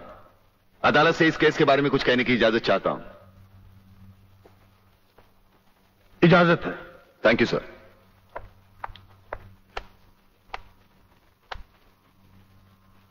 your honour इंसाफ के इस मंदिर में आपको न्याय करते हुए कई साल हुए होंगे। और इन सालों में आपके सामने रेप और मर्डर्स के अनगिनत केसेस भी आए होंगे। क्या उन अनगिनत केसों में आपके सामने कोई ऐसा केस आया है जहाँ कत्ल और बलात्कार करने वाले ने जिसके ऊपर बलात्कार किया है उसे खुद अस्पताल पहुँचाया हो? ये तो अभी तक सुना नहीं कभी। सही कह रहा है कुछ ना कुछ गड़बड़ ज़रूर है। है बहुत बड़ी ऑर्डर ऑर्डर। इंस्पेक्टर वागले मुझसे सवाल करने की बजाय आप इस केस में रोशनी डालिए। वही कोशिश कर रहा हूँ सर। अदालत सरकारी वकील की जिन दलीलों को मद्देनजर रखते हुए इन लड़कों की जमानत नामंजूर कर रही है मैं उन्हीं दलीलों के बारे में कुछ कहने की इजाज़त चाहूँगा। इजाज़त है। सरकारी वकील का कहना यह है कि अनीता चौधरी की लाश के पास संजय चौहान का पर्स मिला। हो सकता है बेहोश राधा टंडेल को उठाते वक्त वो पर्स वहाँ गिर गया हो। अब इनका कहना यह है कि राधा टंडेल ने इन लड़कों के खिलाफ बयान दिया है। यह भी तो हो सकता है कि वो बयान उसे किसी के दबाव में आकर दिया हो। जिस डॉक्टर ने बलात्कार की रिपोर्ट बनाई वो भी खरीदा गया हो। आपकी इन दलीलों से अदालत अपना फैसला नहीं बदल सकती। यह फैसला आप ज़बरदस्ती इन पर लाद रहे हो। इंस्पेक्टर बागले अगर मैं चाहूँ तो अदालत की तोहीन के जुर्म में मैं तुम्हें अभी टर्मिनेट कर सकता हूँ। कोई परवाह नहीं है मुझे इस बात की। मेरा तो विश्वास उठ गया है इस कानून से। कौन सा कानून? कैसा कानून? यह कानून तो चंद मुजरिमों की रखेल बन बैठा है। इसलिए लोग अदालत का दरवाज़ा खटखटाने के बजाय गुंडों की चौखट चूमते हैं। Take him out of the court अगर ज़िंदगी में किसी से रिश्वत ना ली हो तो ही मुझे हाथ लगाना।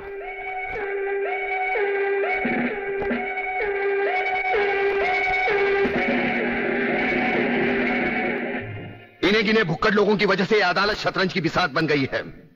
जहाँ कोई भी आकर कानून से खेल सकता है। लेकिन इन खिलाड़ियों को अगर मैंने सच्चा कानून नहीं सिखाया तो मेरा नाम भी शिवाजी राव वागले नहीं।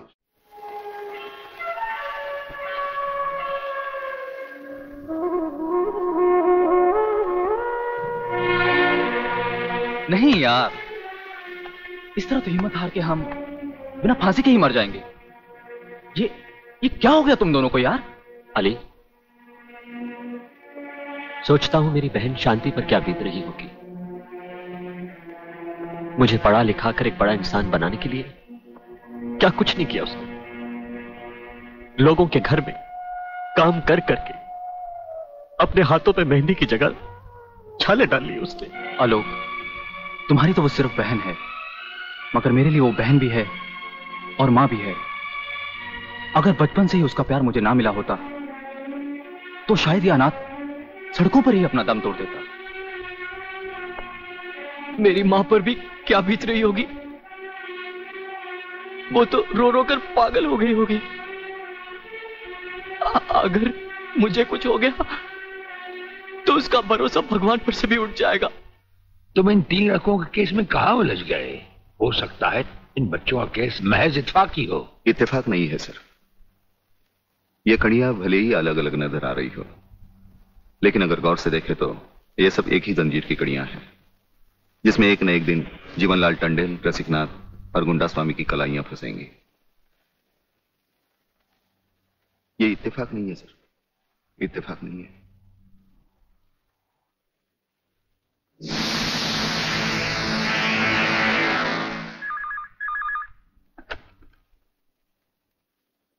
हेलो, सर, मैं मैं तुम्हारी आवाज़ अच्छी तरह पहचानता हूँ, जेलर।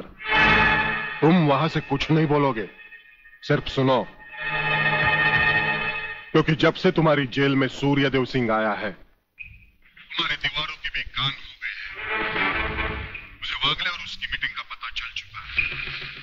वो तीन लाउंडों के केस की सीढ़ी बनाकर मुझ तक पहुँचे। उसके पहले उसकी सीढ़ी के हर डंडे को काट कर फेंक दूँगा मैं। सुनो। जी। मुन्ना और उसके खतरनाक खूनी साथियों को, आज रात को, पुलिस की वर्दी में जेल से बाहर निकाल दो। और उनको समझा दो। पुलिस स्टेशन जाकर उन तीनों लड़कों का बिल आत्महत्या के नाम पर फाड़ दें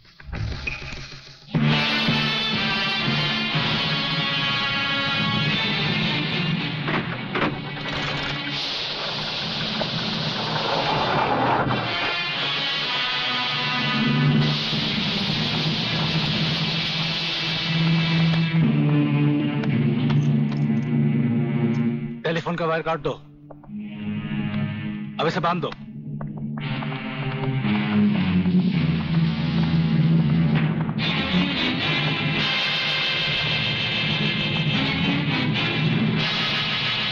मत। तुम्हारी जमानत हो चुकी है। हम लोग तुम्हें रिहा करने आए हैं।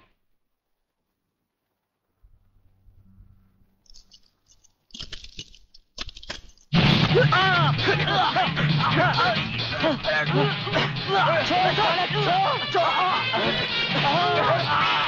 मत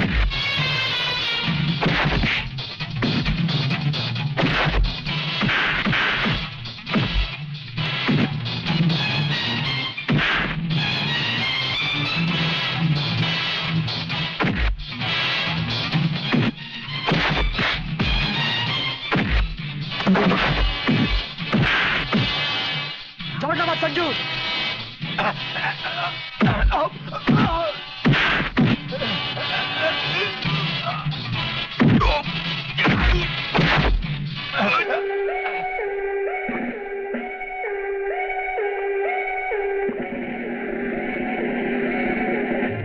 क्या वक्त हो? किसने बताया तुम्हें?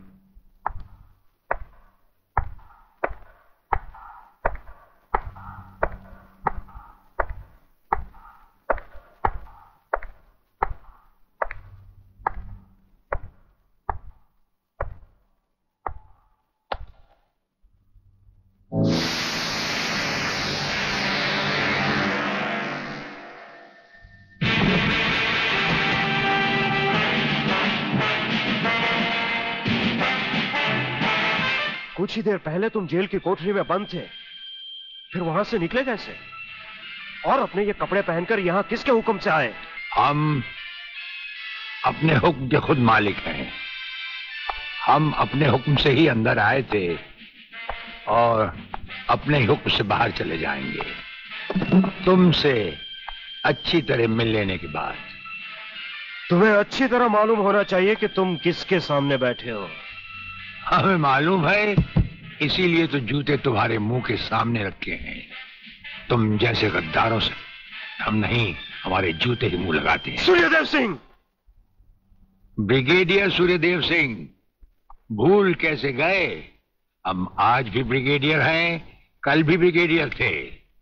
जेल में आना तो एक नाटक था तुम जैसे मुजरिम तक पहुँचने के लिए।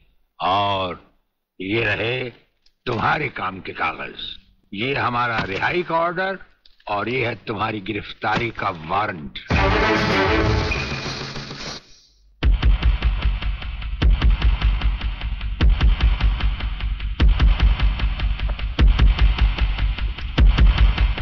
याद करो वो दिन, जब तुमने ये वर्दी पहनने से पहले एक कसम खाई थी। याद करो। हम कसम खाते हैं कि हम पूरी ईमानदारी और वफादारी से देश और कानून की रक्षा करेंगे।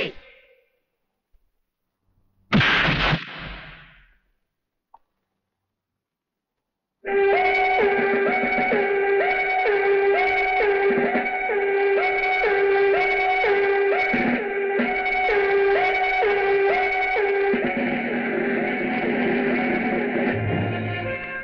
नंगों की बारात में ये वर्दी वाला दूल्हा नहीं जाएगा वागले। इसके भी कपड़े उतार डालो।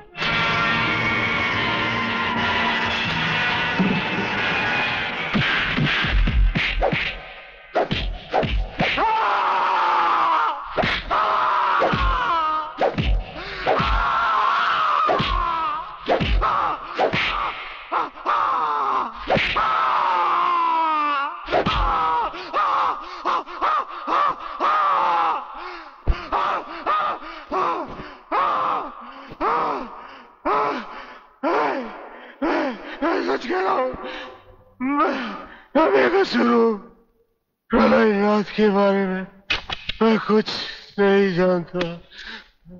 बेहोश होने से पहले तीन बार होश में आने के बाद तीन बार तेरा इसी तरह इलाज करता रहूँगा।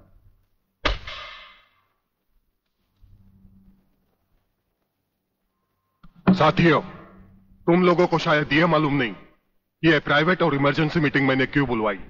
इसलिए कि सूर्यदेव सिंह जेल से छूट चुका है और अब वो खतरा बनकर हम सबके सर पर मंडरा रहा है।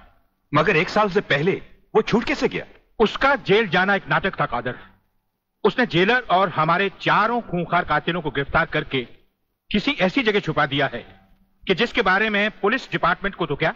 मुझे भी मालूम नहीं। जीवनलाल मेरे चार पाँच आदमियों को गिरफ़्तार करके अगर वो मुझ तक पहुँचने का ख्वाब देख रहा है तो उसका यह ख्वाब मैं कभी भी पूरा नहीं होने दूँगा। अब सूर्यदेव सिंह नाम का बिल फाड़ना ही पड़ेगा। मगर अगर मगर कुछ नहीं चलेगा जीवनलाल अब पंद्रह अगस्त को ज़्यादा दिन नहीं है। जानते हो, सूर्यदेव सिंह हमारे लिए बहुत बड़ा चैलेंज है। और बड़े से बड़े चैलेंज के साथ टकराने का प्रलयनाथ को शौक है। तुम तुम्हारी मिनिस्ट्री संभालो। सूर्यदेव सिंह को आज से मैं संभालूँगा।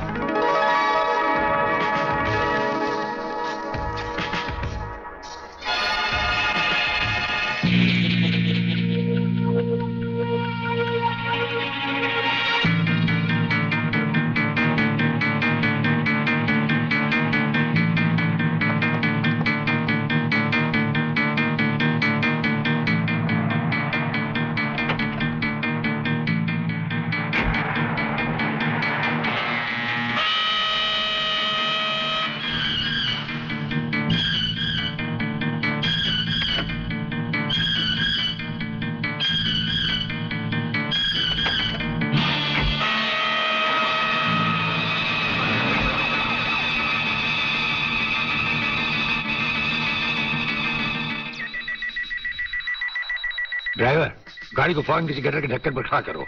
इसमें बम लगाया जा चुका है। यस सर बहादुर काला बटन खींचो।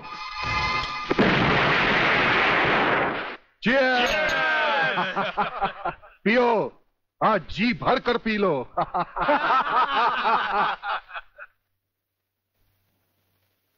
स्वामी जी ये सुखद समाचार टीवी पर भी तो सुन ले। हाँ। ऑन करो। आज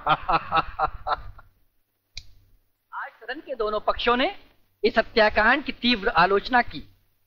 इस हत्याकांड के षड्यंत्र के बारे में हमारी विशेष संवाददाता मोना अलवी की एक रिपोर्ट। आज दोपहर ब्रिगेडियर सूर्यदेव सिंह अपने विशेष दस्ते के साथ भोजन के लिए रवाना हुए। अचानक उन्हें अपनी कार में सिग्नल सुनाई दिया, जो कार में बॉम्ब रखे जाने का संकेत देता है। सूर्यदेव सिंह ने अपनी गाड़ी एक गटर के ढक्कन पर रुकवाई और अपने विशेष दस्ते के ब्लैक कमांडो से ये काला बटन खींचने को कहा। इससे गाड़ी के नीचे का हिस्सा साइड में खिसक गया और धमाके से पहले ही ब्रिगेडियर सूरदेव सिंह अपने आदमियों के साथ ही भूमिगत हो गए। तो इस तरह उन्होंने अपनी समझदारी और बहादुरी से अपनी और अपने आदमियों की जान बचाई। तो आइए, आज हम ब्रिगेडियर सूर्यदेव सिंह से आपका साक्षात्कार कराएँगे।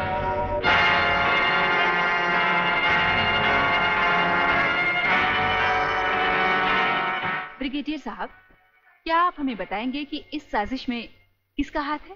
हाँ, हाथ होता तो कभी का काट चुके होते हम। ब्रिगेडियर साहब आप हमारे दर्शकों को बताएँगे कि इन देशद्रोहियों ने आप पर हमला क्यों किया? आ, ज़ाहिर है कि हमें जीवन दान देने के लिए नहीं। हमारी जबान भी हमारी गोली की तरह दुश्मनों से सीधे बात करती है टीवी पर नहीं।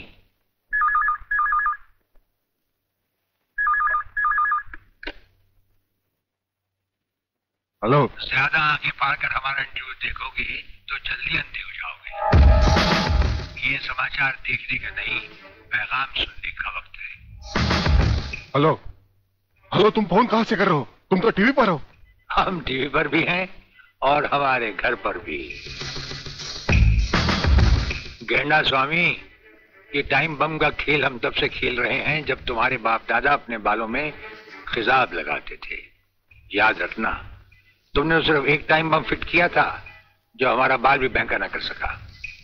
मगर हमने तुम्हारी मौत के लिए इतने बम तैयार कर रखे हैं जो तुम्हें तो क्या तुम्हारे पालतू कुत्तों को भी बचने का टाइम नहीं देंगे। ब्रिगेडियर साहब क्या आप उन देशद्रोहियों को कोई पैगाम देना चाहेंगे? पैगाम? हमारा पैगाम तो उन तक पहुँच चुका है। हम आपको यकीन दिलाते हैं कि हमें ज़िंदा देखकर वो अपनी टीवी तोड़ डालेंगे। अबे साले! सर ये क्या है? इतनी देर से गाड़ी चली जा रही है आप खामोश बैठे हैं बता नहीं रहे हम कहाँ जा रहे हैं? कौन से मिशन पे जा रहे हैं? मिशन है हमारा जन्मदिन। अरे। हमारी राजपूताना रेजिमेंट हमसे बहुत प्यार करती है वागले और वहाँ के कुछ जूनियर और सीनियर अफसर मिलकर हमारे जन्मदिन को बड़े शौक से मनाते हैं। वो रेजिमेंट कहीं भी हो हमें वहाँ जाना होता है। और साल में एक दिन ज़िंदगी के गम और फ़र्ज़ भुलाकर उस रात हम नाचते हैं गाते हैं और सरूर में झूमते हैं। वेरी गुड वेरी गुड लेकिन सर मैंने आज तक इस बला को मुँह से नहीं लगाया। हाँ वागले लेकिन आज हमारे साथ पहली बार तुम इस बला को मुँह से लगाओगे और चूमोगे भी और फिर हमारे साथ गाओगे नाचोगे। सर नाचने गाने की बात तो ठीक है लेकिन कहीं मैं पी के लुढ़क गया तो अरे वागले ये कंधे किस लिए हैं?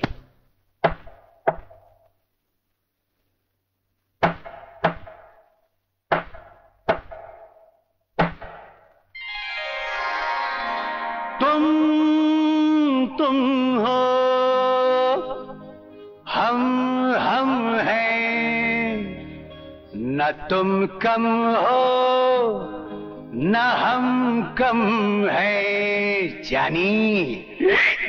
प्यार की है यारी निभानी। पिले पीले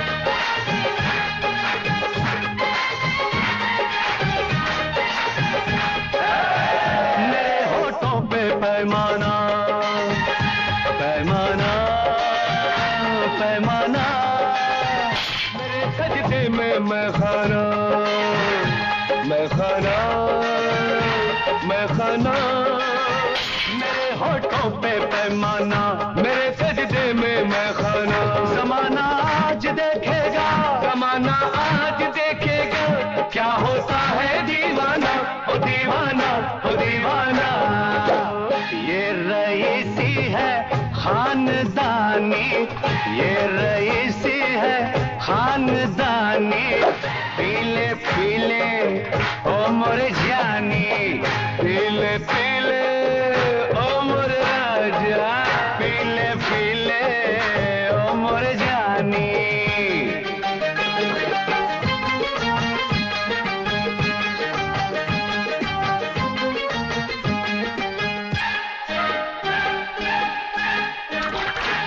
मोहब्बत ही इबादत है। इबादत ही मोहब्बत है। हम मोहब्बत ही इबादत है। इबादत ही मोहब्बत है।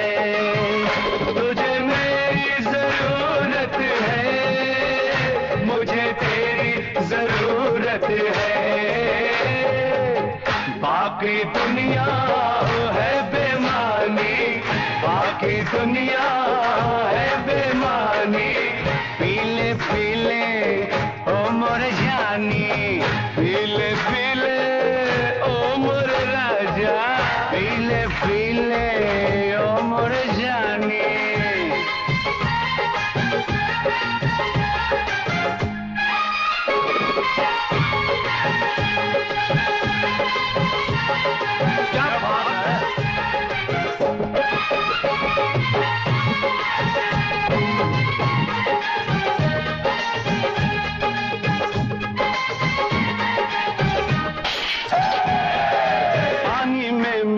तो लगे पानी जैसी। जिस्म में मिले तो लगे जवानी जैसी। और पानी में मिले तो लगे पानी जैसी। जिस्म में मिले तो लगे जवानी जैसी। जवानी जैसी जवानी जैसी। पानी में मिले तो लगे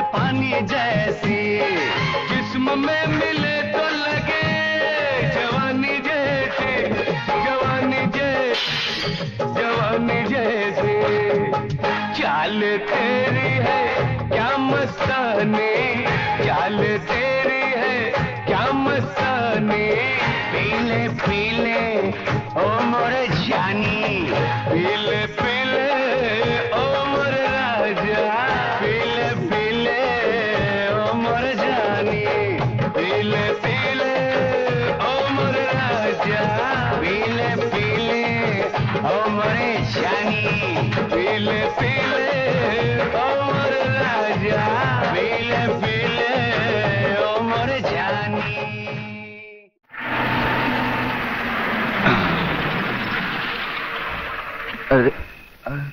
तू को उछल रही है।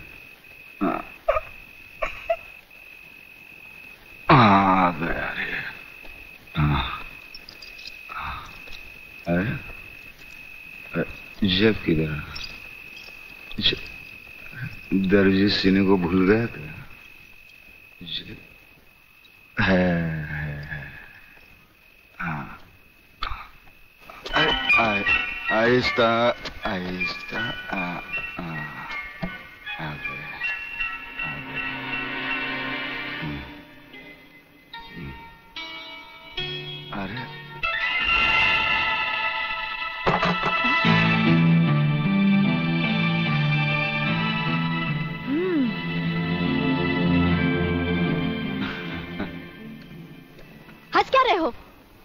आने का वक्त है?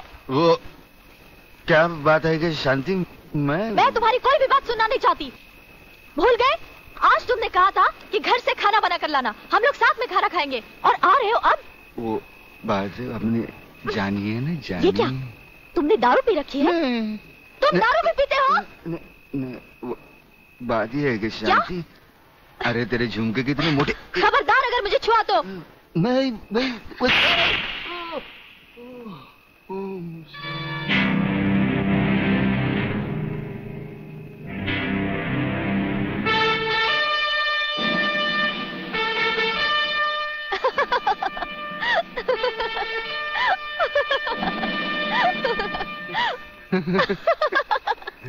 अरे ये तुम्हें क्या हो गया है? ऐसा ऐसा ऐसा। हम्म, नीला अरे ब्लाउज ये क्या कर रहे हो? मैं हूँ शांति। शांति? शांति। तुम्हारे हाथ बहुत खूबसूरत है। इन्हें गलत जगह मत उठाओ। मैले हो जाएँगे। अच्छा तो तुमने जागते हुए कोई ख्वाब देखा? कहीं ये तो नहीं देखा कि मैंने तुम्हें थप्पड़ मारा? हाँ। तुम्हें कैसे मालूम? पहले ये बताओ क्या? इतना सच धज कर इतनी रात गए कहाँ से आ रहे हो? मैं कब से खाना लेकर तुम्हारा इंतज़ार कर रही हूँ? वो तु, अरे तुम्हारे झुमके छोटे हो? ये क्या? तुमने शराब पी रखी है? शराब पीने वालों से मुझे सख्त नफरत है। खाना नहीं खाया हो तो खा लेना। मैं चलती हूँ। शांति शांति तू नहीं जानती। मुझे छोड़ दो। सु, सु, मैं मैं मैं मैं कभी शराब नहीं पीता। वो वो ब्रिगेडियर साहब है ना उन्होंने पहले मुझे कसम खिलाई, फिर शराब पिलाई। मैंने मैं मैं कसम खाता हूँ। भगवान की कसम खाता हूँ। मैं मैं तुम्हारे सर की कसम खाता हूँ। दोबारा नहीं। दोबारा। हेलो। हाँ। इधर तू बचता है। उधर वो बचती है। हेलो। नमस्कार। हाँ बोलो खबरीलाल क्या समाचार है? दोस्त। दोस्त। आज रात के खास समाचार ये हैं कि प्रोफेसर रंगास्वामी का अपहरण को बंद नहीं किया है। और हमारे विशेष संवाददाता के अनुसार आपके ऊपर किसी भी समय दुश्मनों का जानलेवा हमला होने की संभावना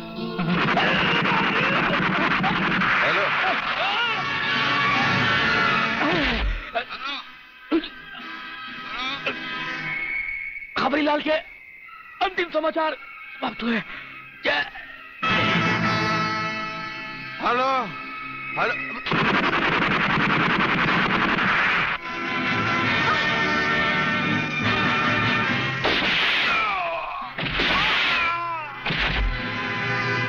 पांडू पांडू समझा क्या? मराठा है भाई। हाँ, हाँ। ए, ए, ए, चल चल चल।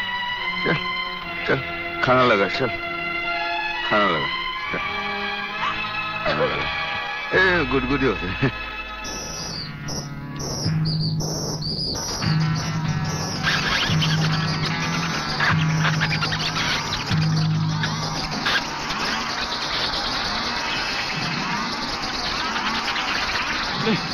नहीं नहीं नहीं नहीं ये क्या कर रहे हो? नहीं नहीं नहीं नहीं।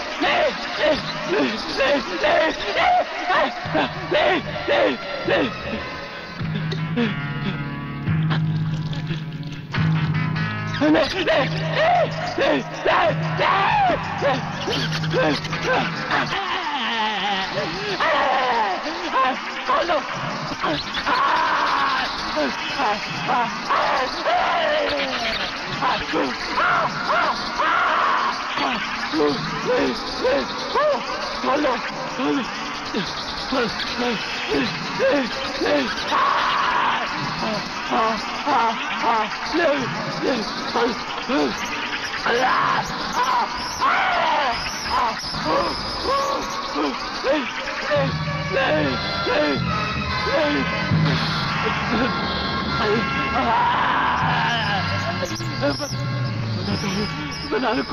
नहीं खोलो बता दो खोल दो खोल दो बताता हूँ बताता हूँ बता बता बता खोल बता दो बता दो बता दो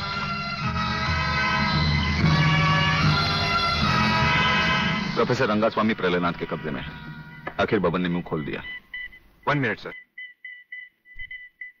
sir Delhi से होम मिनिस्टर चौधरी आपसे बात करना चाहते हैं हॉटलाइन पर बात कीजिए सर। नमस्कार मंत्री साहब। नमस्कार। देखिए कल एयर फ्रांस की फ़्लाइट से प्रोफेसर खुराना फ्रांस से पहुँच रहे हैं। आपने उन्हें देखा भी है और उन्हें अच्छी तरह से जानते भी हैं। दुश्मन की नज़र भी उन पर होगी। इसीलिए उन्हें एयरपोर्ट से रिसर्च सेंटर तक पहुँचाने की ज़िम्मेदारी मैं आपको सौंप रहा हूँ। ये एक बहुत ही कॉन्फिडेंशियल मामला है। कॉन्फिडेंशियल मामला तो मैं जान चुका हूँ। ब्रिगेडियर। आप देखना प्रोफेसर खुराना कहाँ पहुँचता है। मगर प्रलयनाथ ये नामुमकिन है। मंत्री होने के नाते तुम्हारे लिए यह काम बहुत आसान है जीवनलाल। तुम एयरपोर्ट के किसी भी हिस्से से ब्रिगेडियर की आँखों में धूल झोंक कर उसे उठा सकते हो। मगर मैं तो प्रोफेसर को जानता तक नहीं और नहीं उसे देखा है। उसकी फ़िक्र तुम मत करो। मैंने बॉब को खबर कर दी है। हमारा विदेशी एजेंट फ्रांस से ही प्रोफेसर खुराना का पीछा साय की तरह करेगा। और वही तुम्हें एयरपोर्ट पर प्रोफेसर खुराना को तुम्हारे हवाले करेगा। राधा, जब तक मैं तुम्हें दूसरे आदमी तक नहीं पहुँचा देता, यूँ ही खामोशी से चलते रहना। एक लफ्ज भी बाहर निकाला तो साइलेंसर लगे रिवॉल्वर से। कब गोली निकलकर तुम्हारे अंदर दाखिल हो जाएगी? किसी को पता भी नहीं चलेगा। मुफ़्त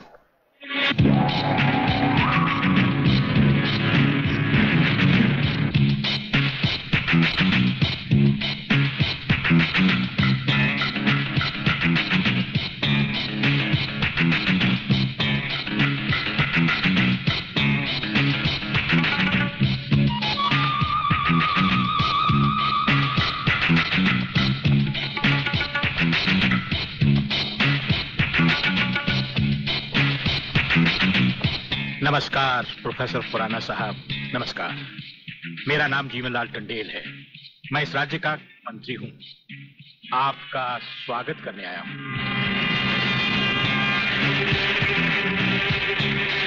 प्रोफेसर, तुम्हारे गले में जो मैंने हाथ डाला है, उसमें बम लगा है, जिसका रिमोट कंट्रोल मेरी जेब में है। जरा भी होशियारी दिखाई तो तुम्हारे चीथड़े उड़ जाएँगे। समझे? खामोशी से मेरे साथ चलो। चलो। आइए।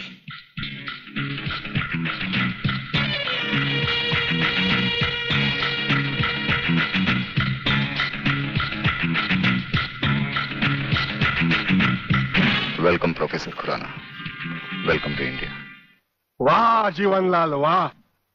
आज तुमने तो कमाल कर दिया। प्रोफेसर खुराना वो ब्रिगेडियर तो बेचारा एयरपोर्ट पर हाथ मलता ही रह गया। और प्रोफेसर हमारे जाल में कबूतर की तरह फंस गया। ब्रिगेडियर शायद ये नहीं जानता कि प्रलयनाथ ऐसा शिकारी है, जिसके हाथ से कभी कोई शिकार नहीं बचता।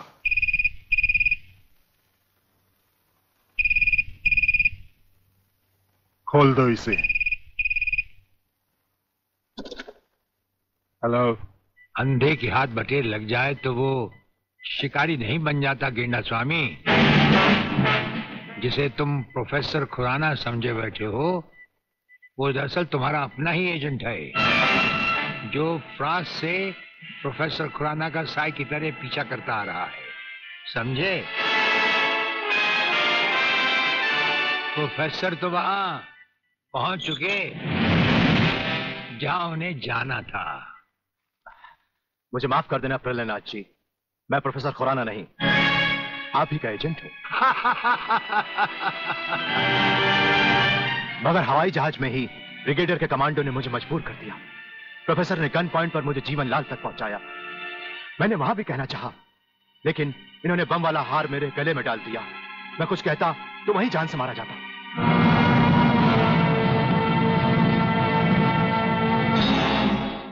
वहाँ पर भी मारे जाते हैं और यहाँ पर भी मारे जाओगे।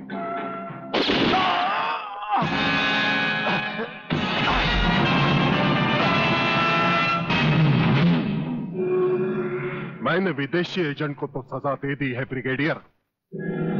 मगर प्रलयनाथ से ये दुश्मनी तुम्हें बहुत भारी पड़ेगी। जो भारी ना हो, वो दुश्मनी ही क्या प्रलयनाथ तो एक बात मेरी भी अपने कान में अच्छी तरह उतार लो, ब्रिगेडियर। प्रोफेसर खुराना को अब चाहे दुनिया के किसी भी कोने में छुपा लो। मैं उसे हासिल करके ही रहूँगा। शेख चिल्ली की तरह दिन को सपने देखने छोड़ दो गेंडा स्वामी।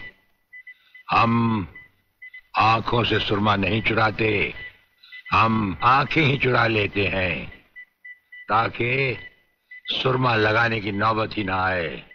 और फिर तुम्हारा अंजाम तुम्हारा अंजाम वही होगा। ये आप क्या कह रहे हैं? बेईमानी न मेरे खून में है न डॉक्टरी पेशे में। डॉक्टरी पेशे की तो बात हम अभी करेंगे नहीं।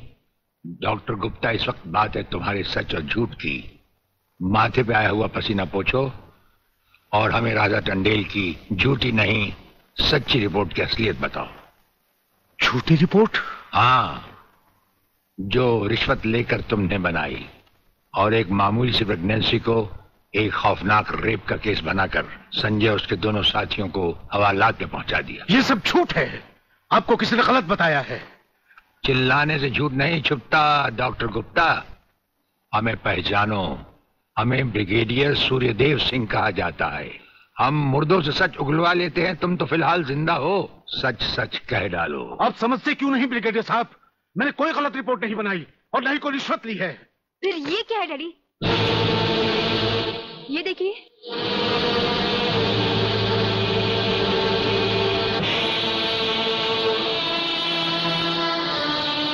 ये रुपए आपके कबड़ में थे, डैडी। मैं समझी थी कि किसी को जीवन दान देने के लिए आप इसमें दवाइयाँ लाए हैं। पर ब्रिगेडियर साहब की बात सुनकर जब मैंने इसको खोलकर देखा तो पता लगा कि मेरे पिता मेरे लिए शादी का जोड़ा नहीं कफन खरीदने के लिए रिश्वत का पैसा लाए हैं। संध्या। हाँ डैडी। जिस संजय चौहान को आपने सलाखों के पीछे पहुँचाया मैं उसी से प्यार करती हूँ। अगर संजय को कुछ हो गया तो मैं ज़िंदा नहीं रहूँगी। मैं मर जाऊँगी। देखा डॉक्टर?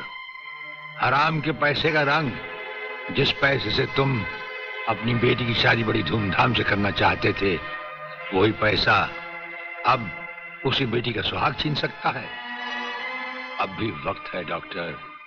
सब कुछ सच सच कह दो।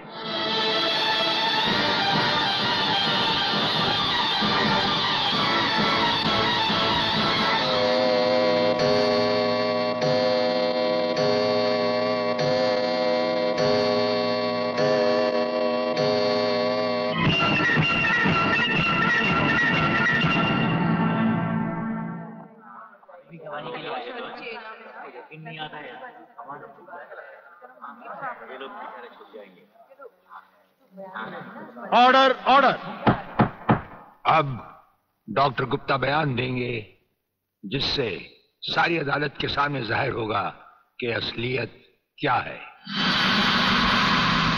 जज साहब मिस राधा टंडेल के बलात्कार की झूठी रिपोर्ट मैंने ही तैयार की थी। सच्चाई यह है वो पेट से थी और उनका अबॉर्शन मैंने ही किया था।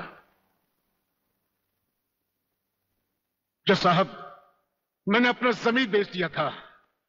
मैं अदालत के सामने कबूल करता हूँ कि मैं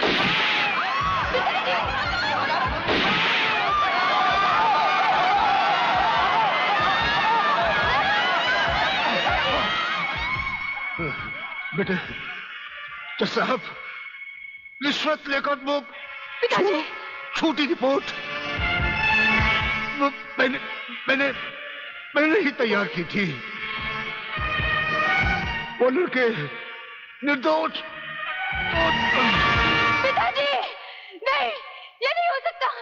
पिताजी पिताजी पिताजी नहीं।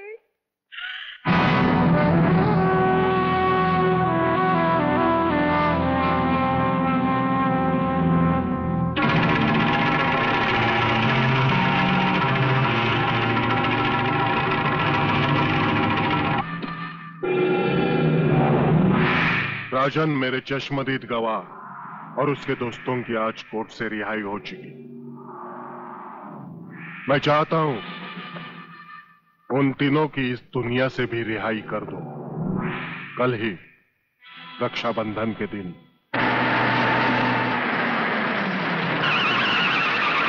अरे, शांति? यहाँ क्या कर रही है।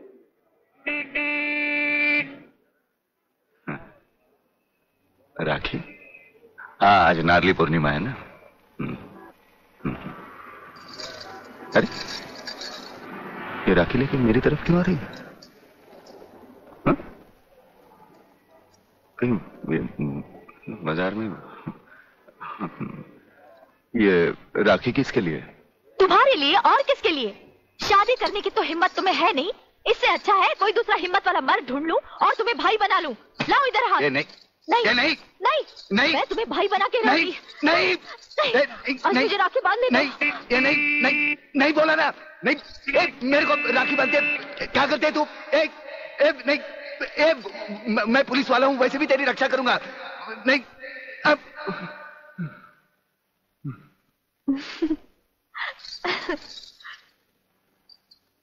हम्म लगता है तुमने फिर कोई ख्वाब देखा है। अब तुम रोड पर भी ख्वाब देखने लगे।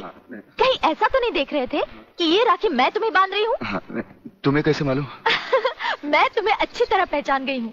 तुम ख्वाब में कुछ भी देख सकते हो। अरे बाबा ये राखियाँ मैंने अपने भाइयों के लिए खरीदी हैं समझे? वेरी गुड जानते हो राखी के धागे में कितनी ताकत होती है?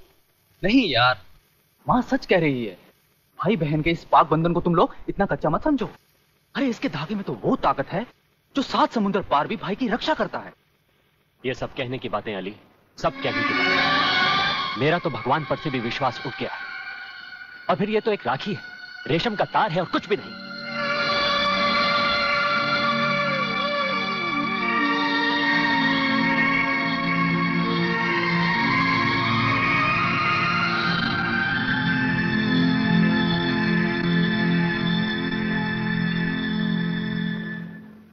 देखा?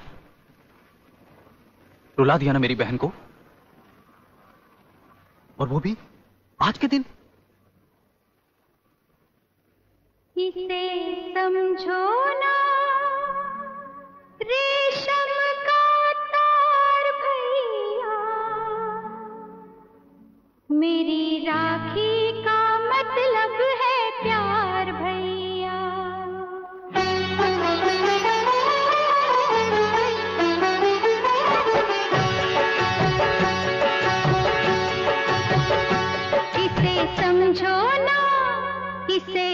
समझो ना।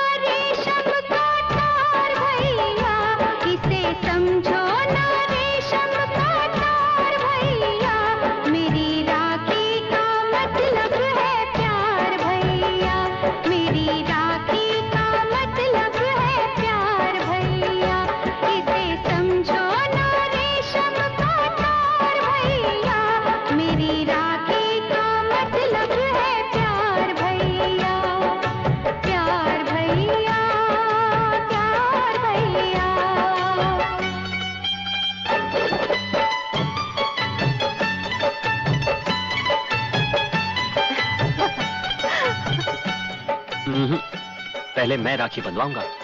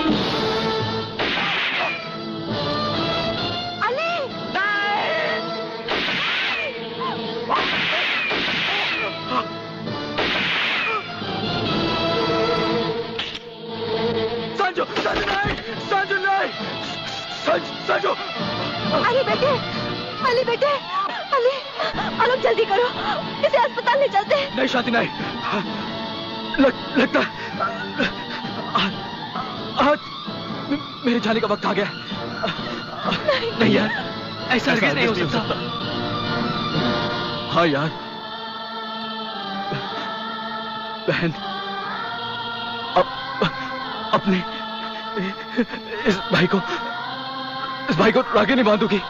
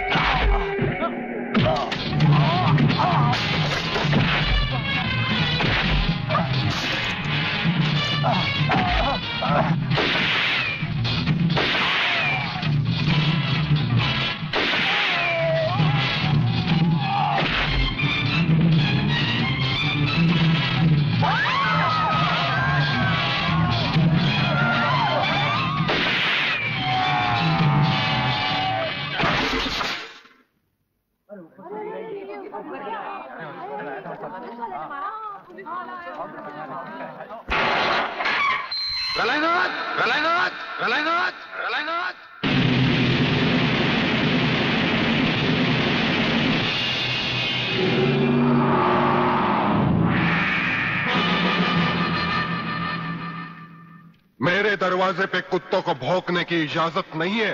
ये शेर की दहाड़ है। अगर नहीं सुनी तो आके फाड़ कर नीचे देख।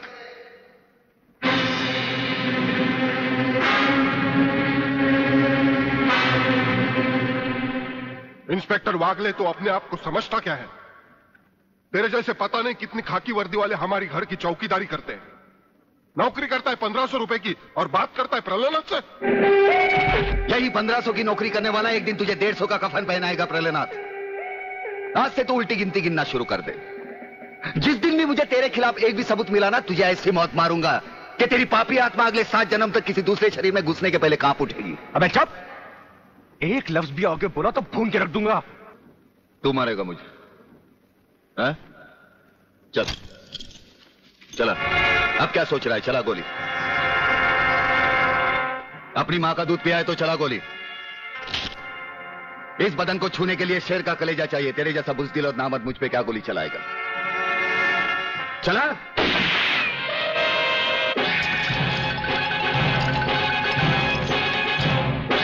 पुलिस अफसर पर गोली चलाने के जुर्मे में तुझे गिरफ़्तार करता हूँ। प्रहलानाथ जरा भी हिले तो इसकी खोपड़ी खोल दूँगा।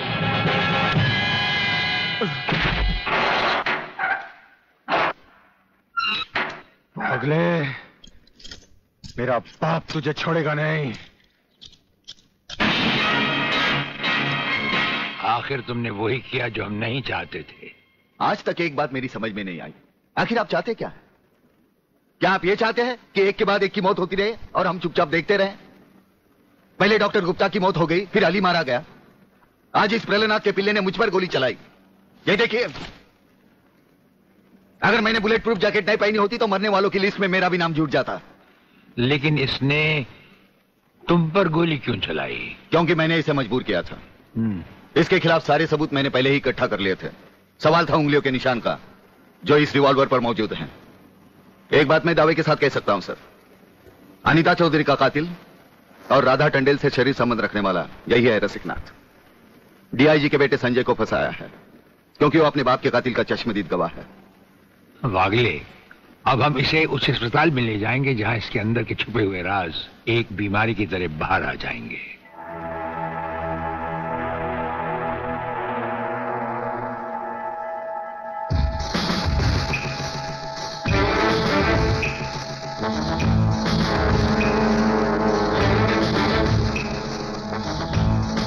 जो दुश्मन यहाँ बांधा गया, समझो उसकी अर्थी उठ गई। हमारा ये हथियार आग उगलता है।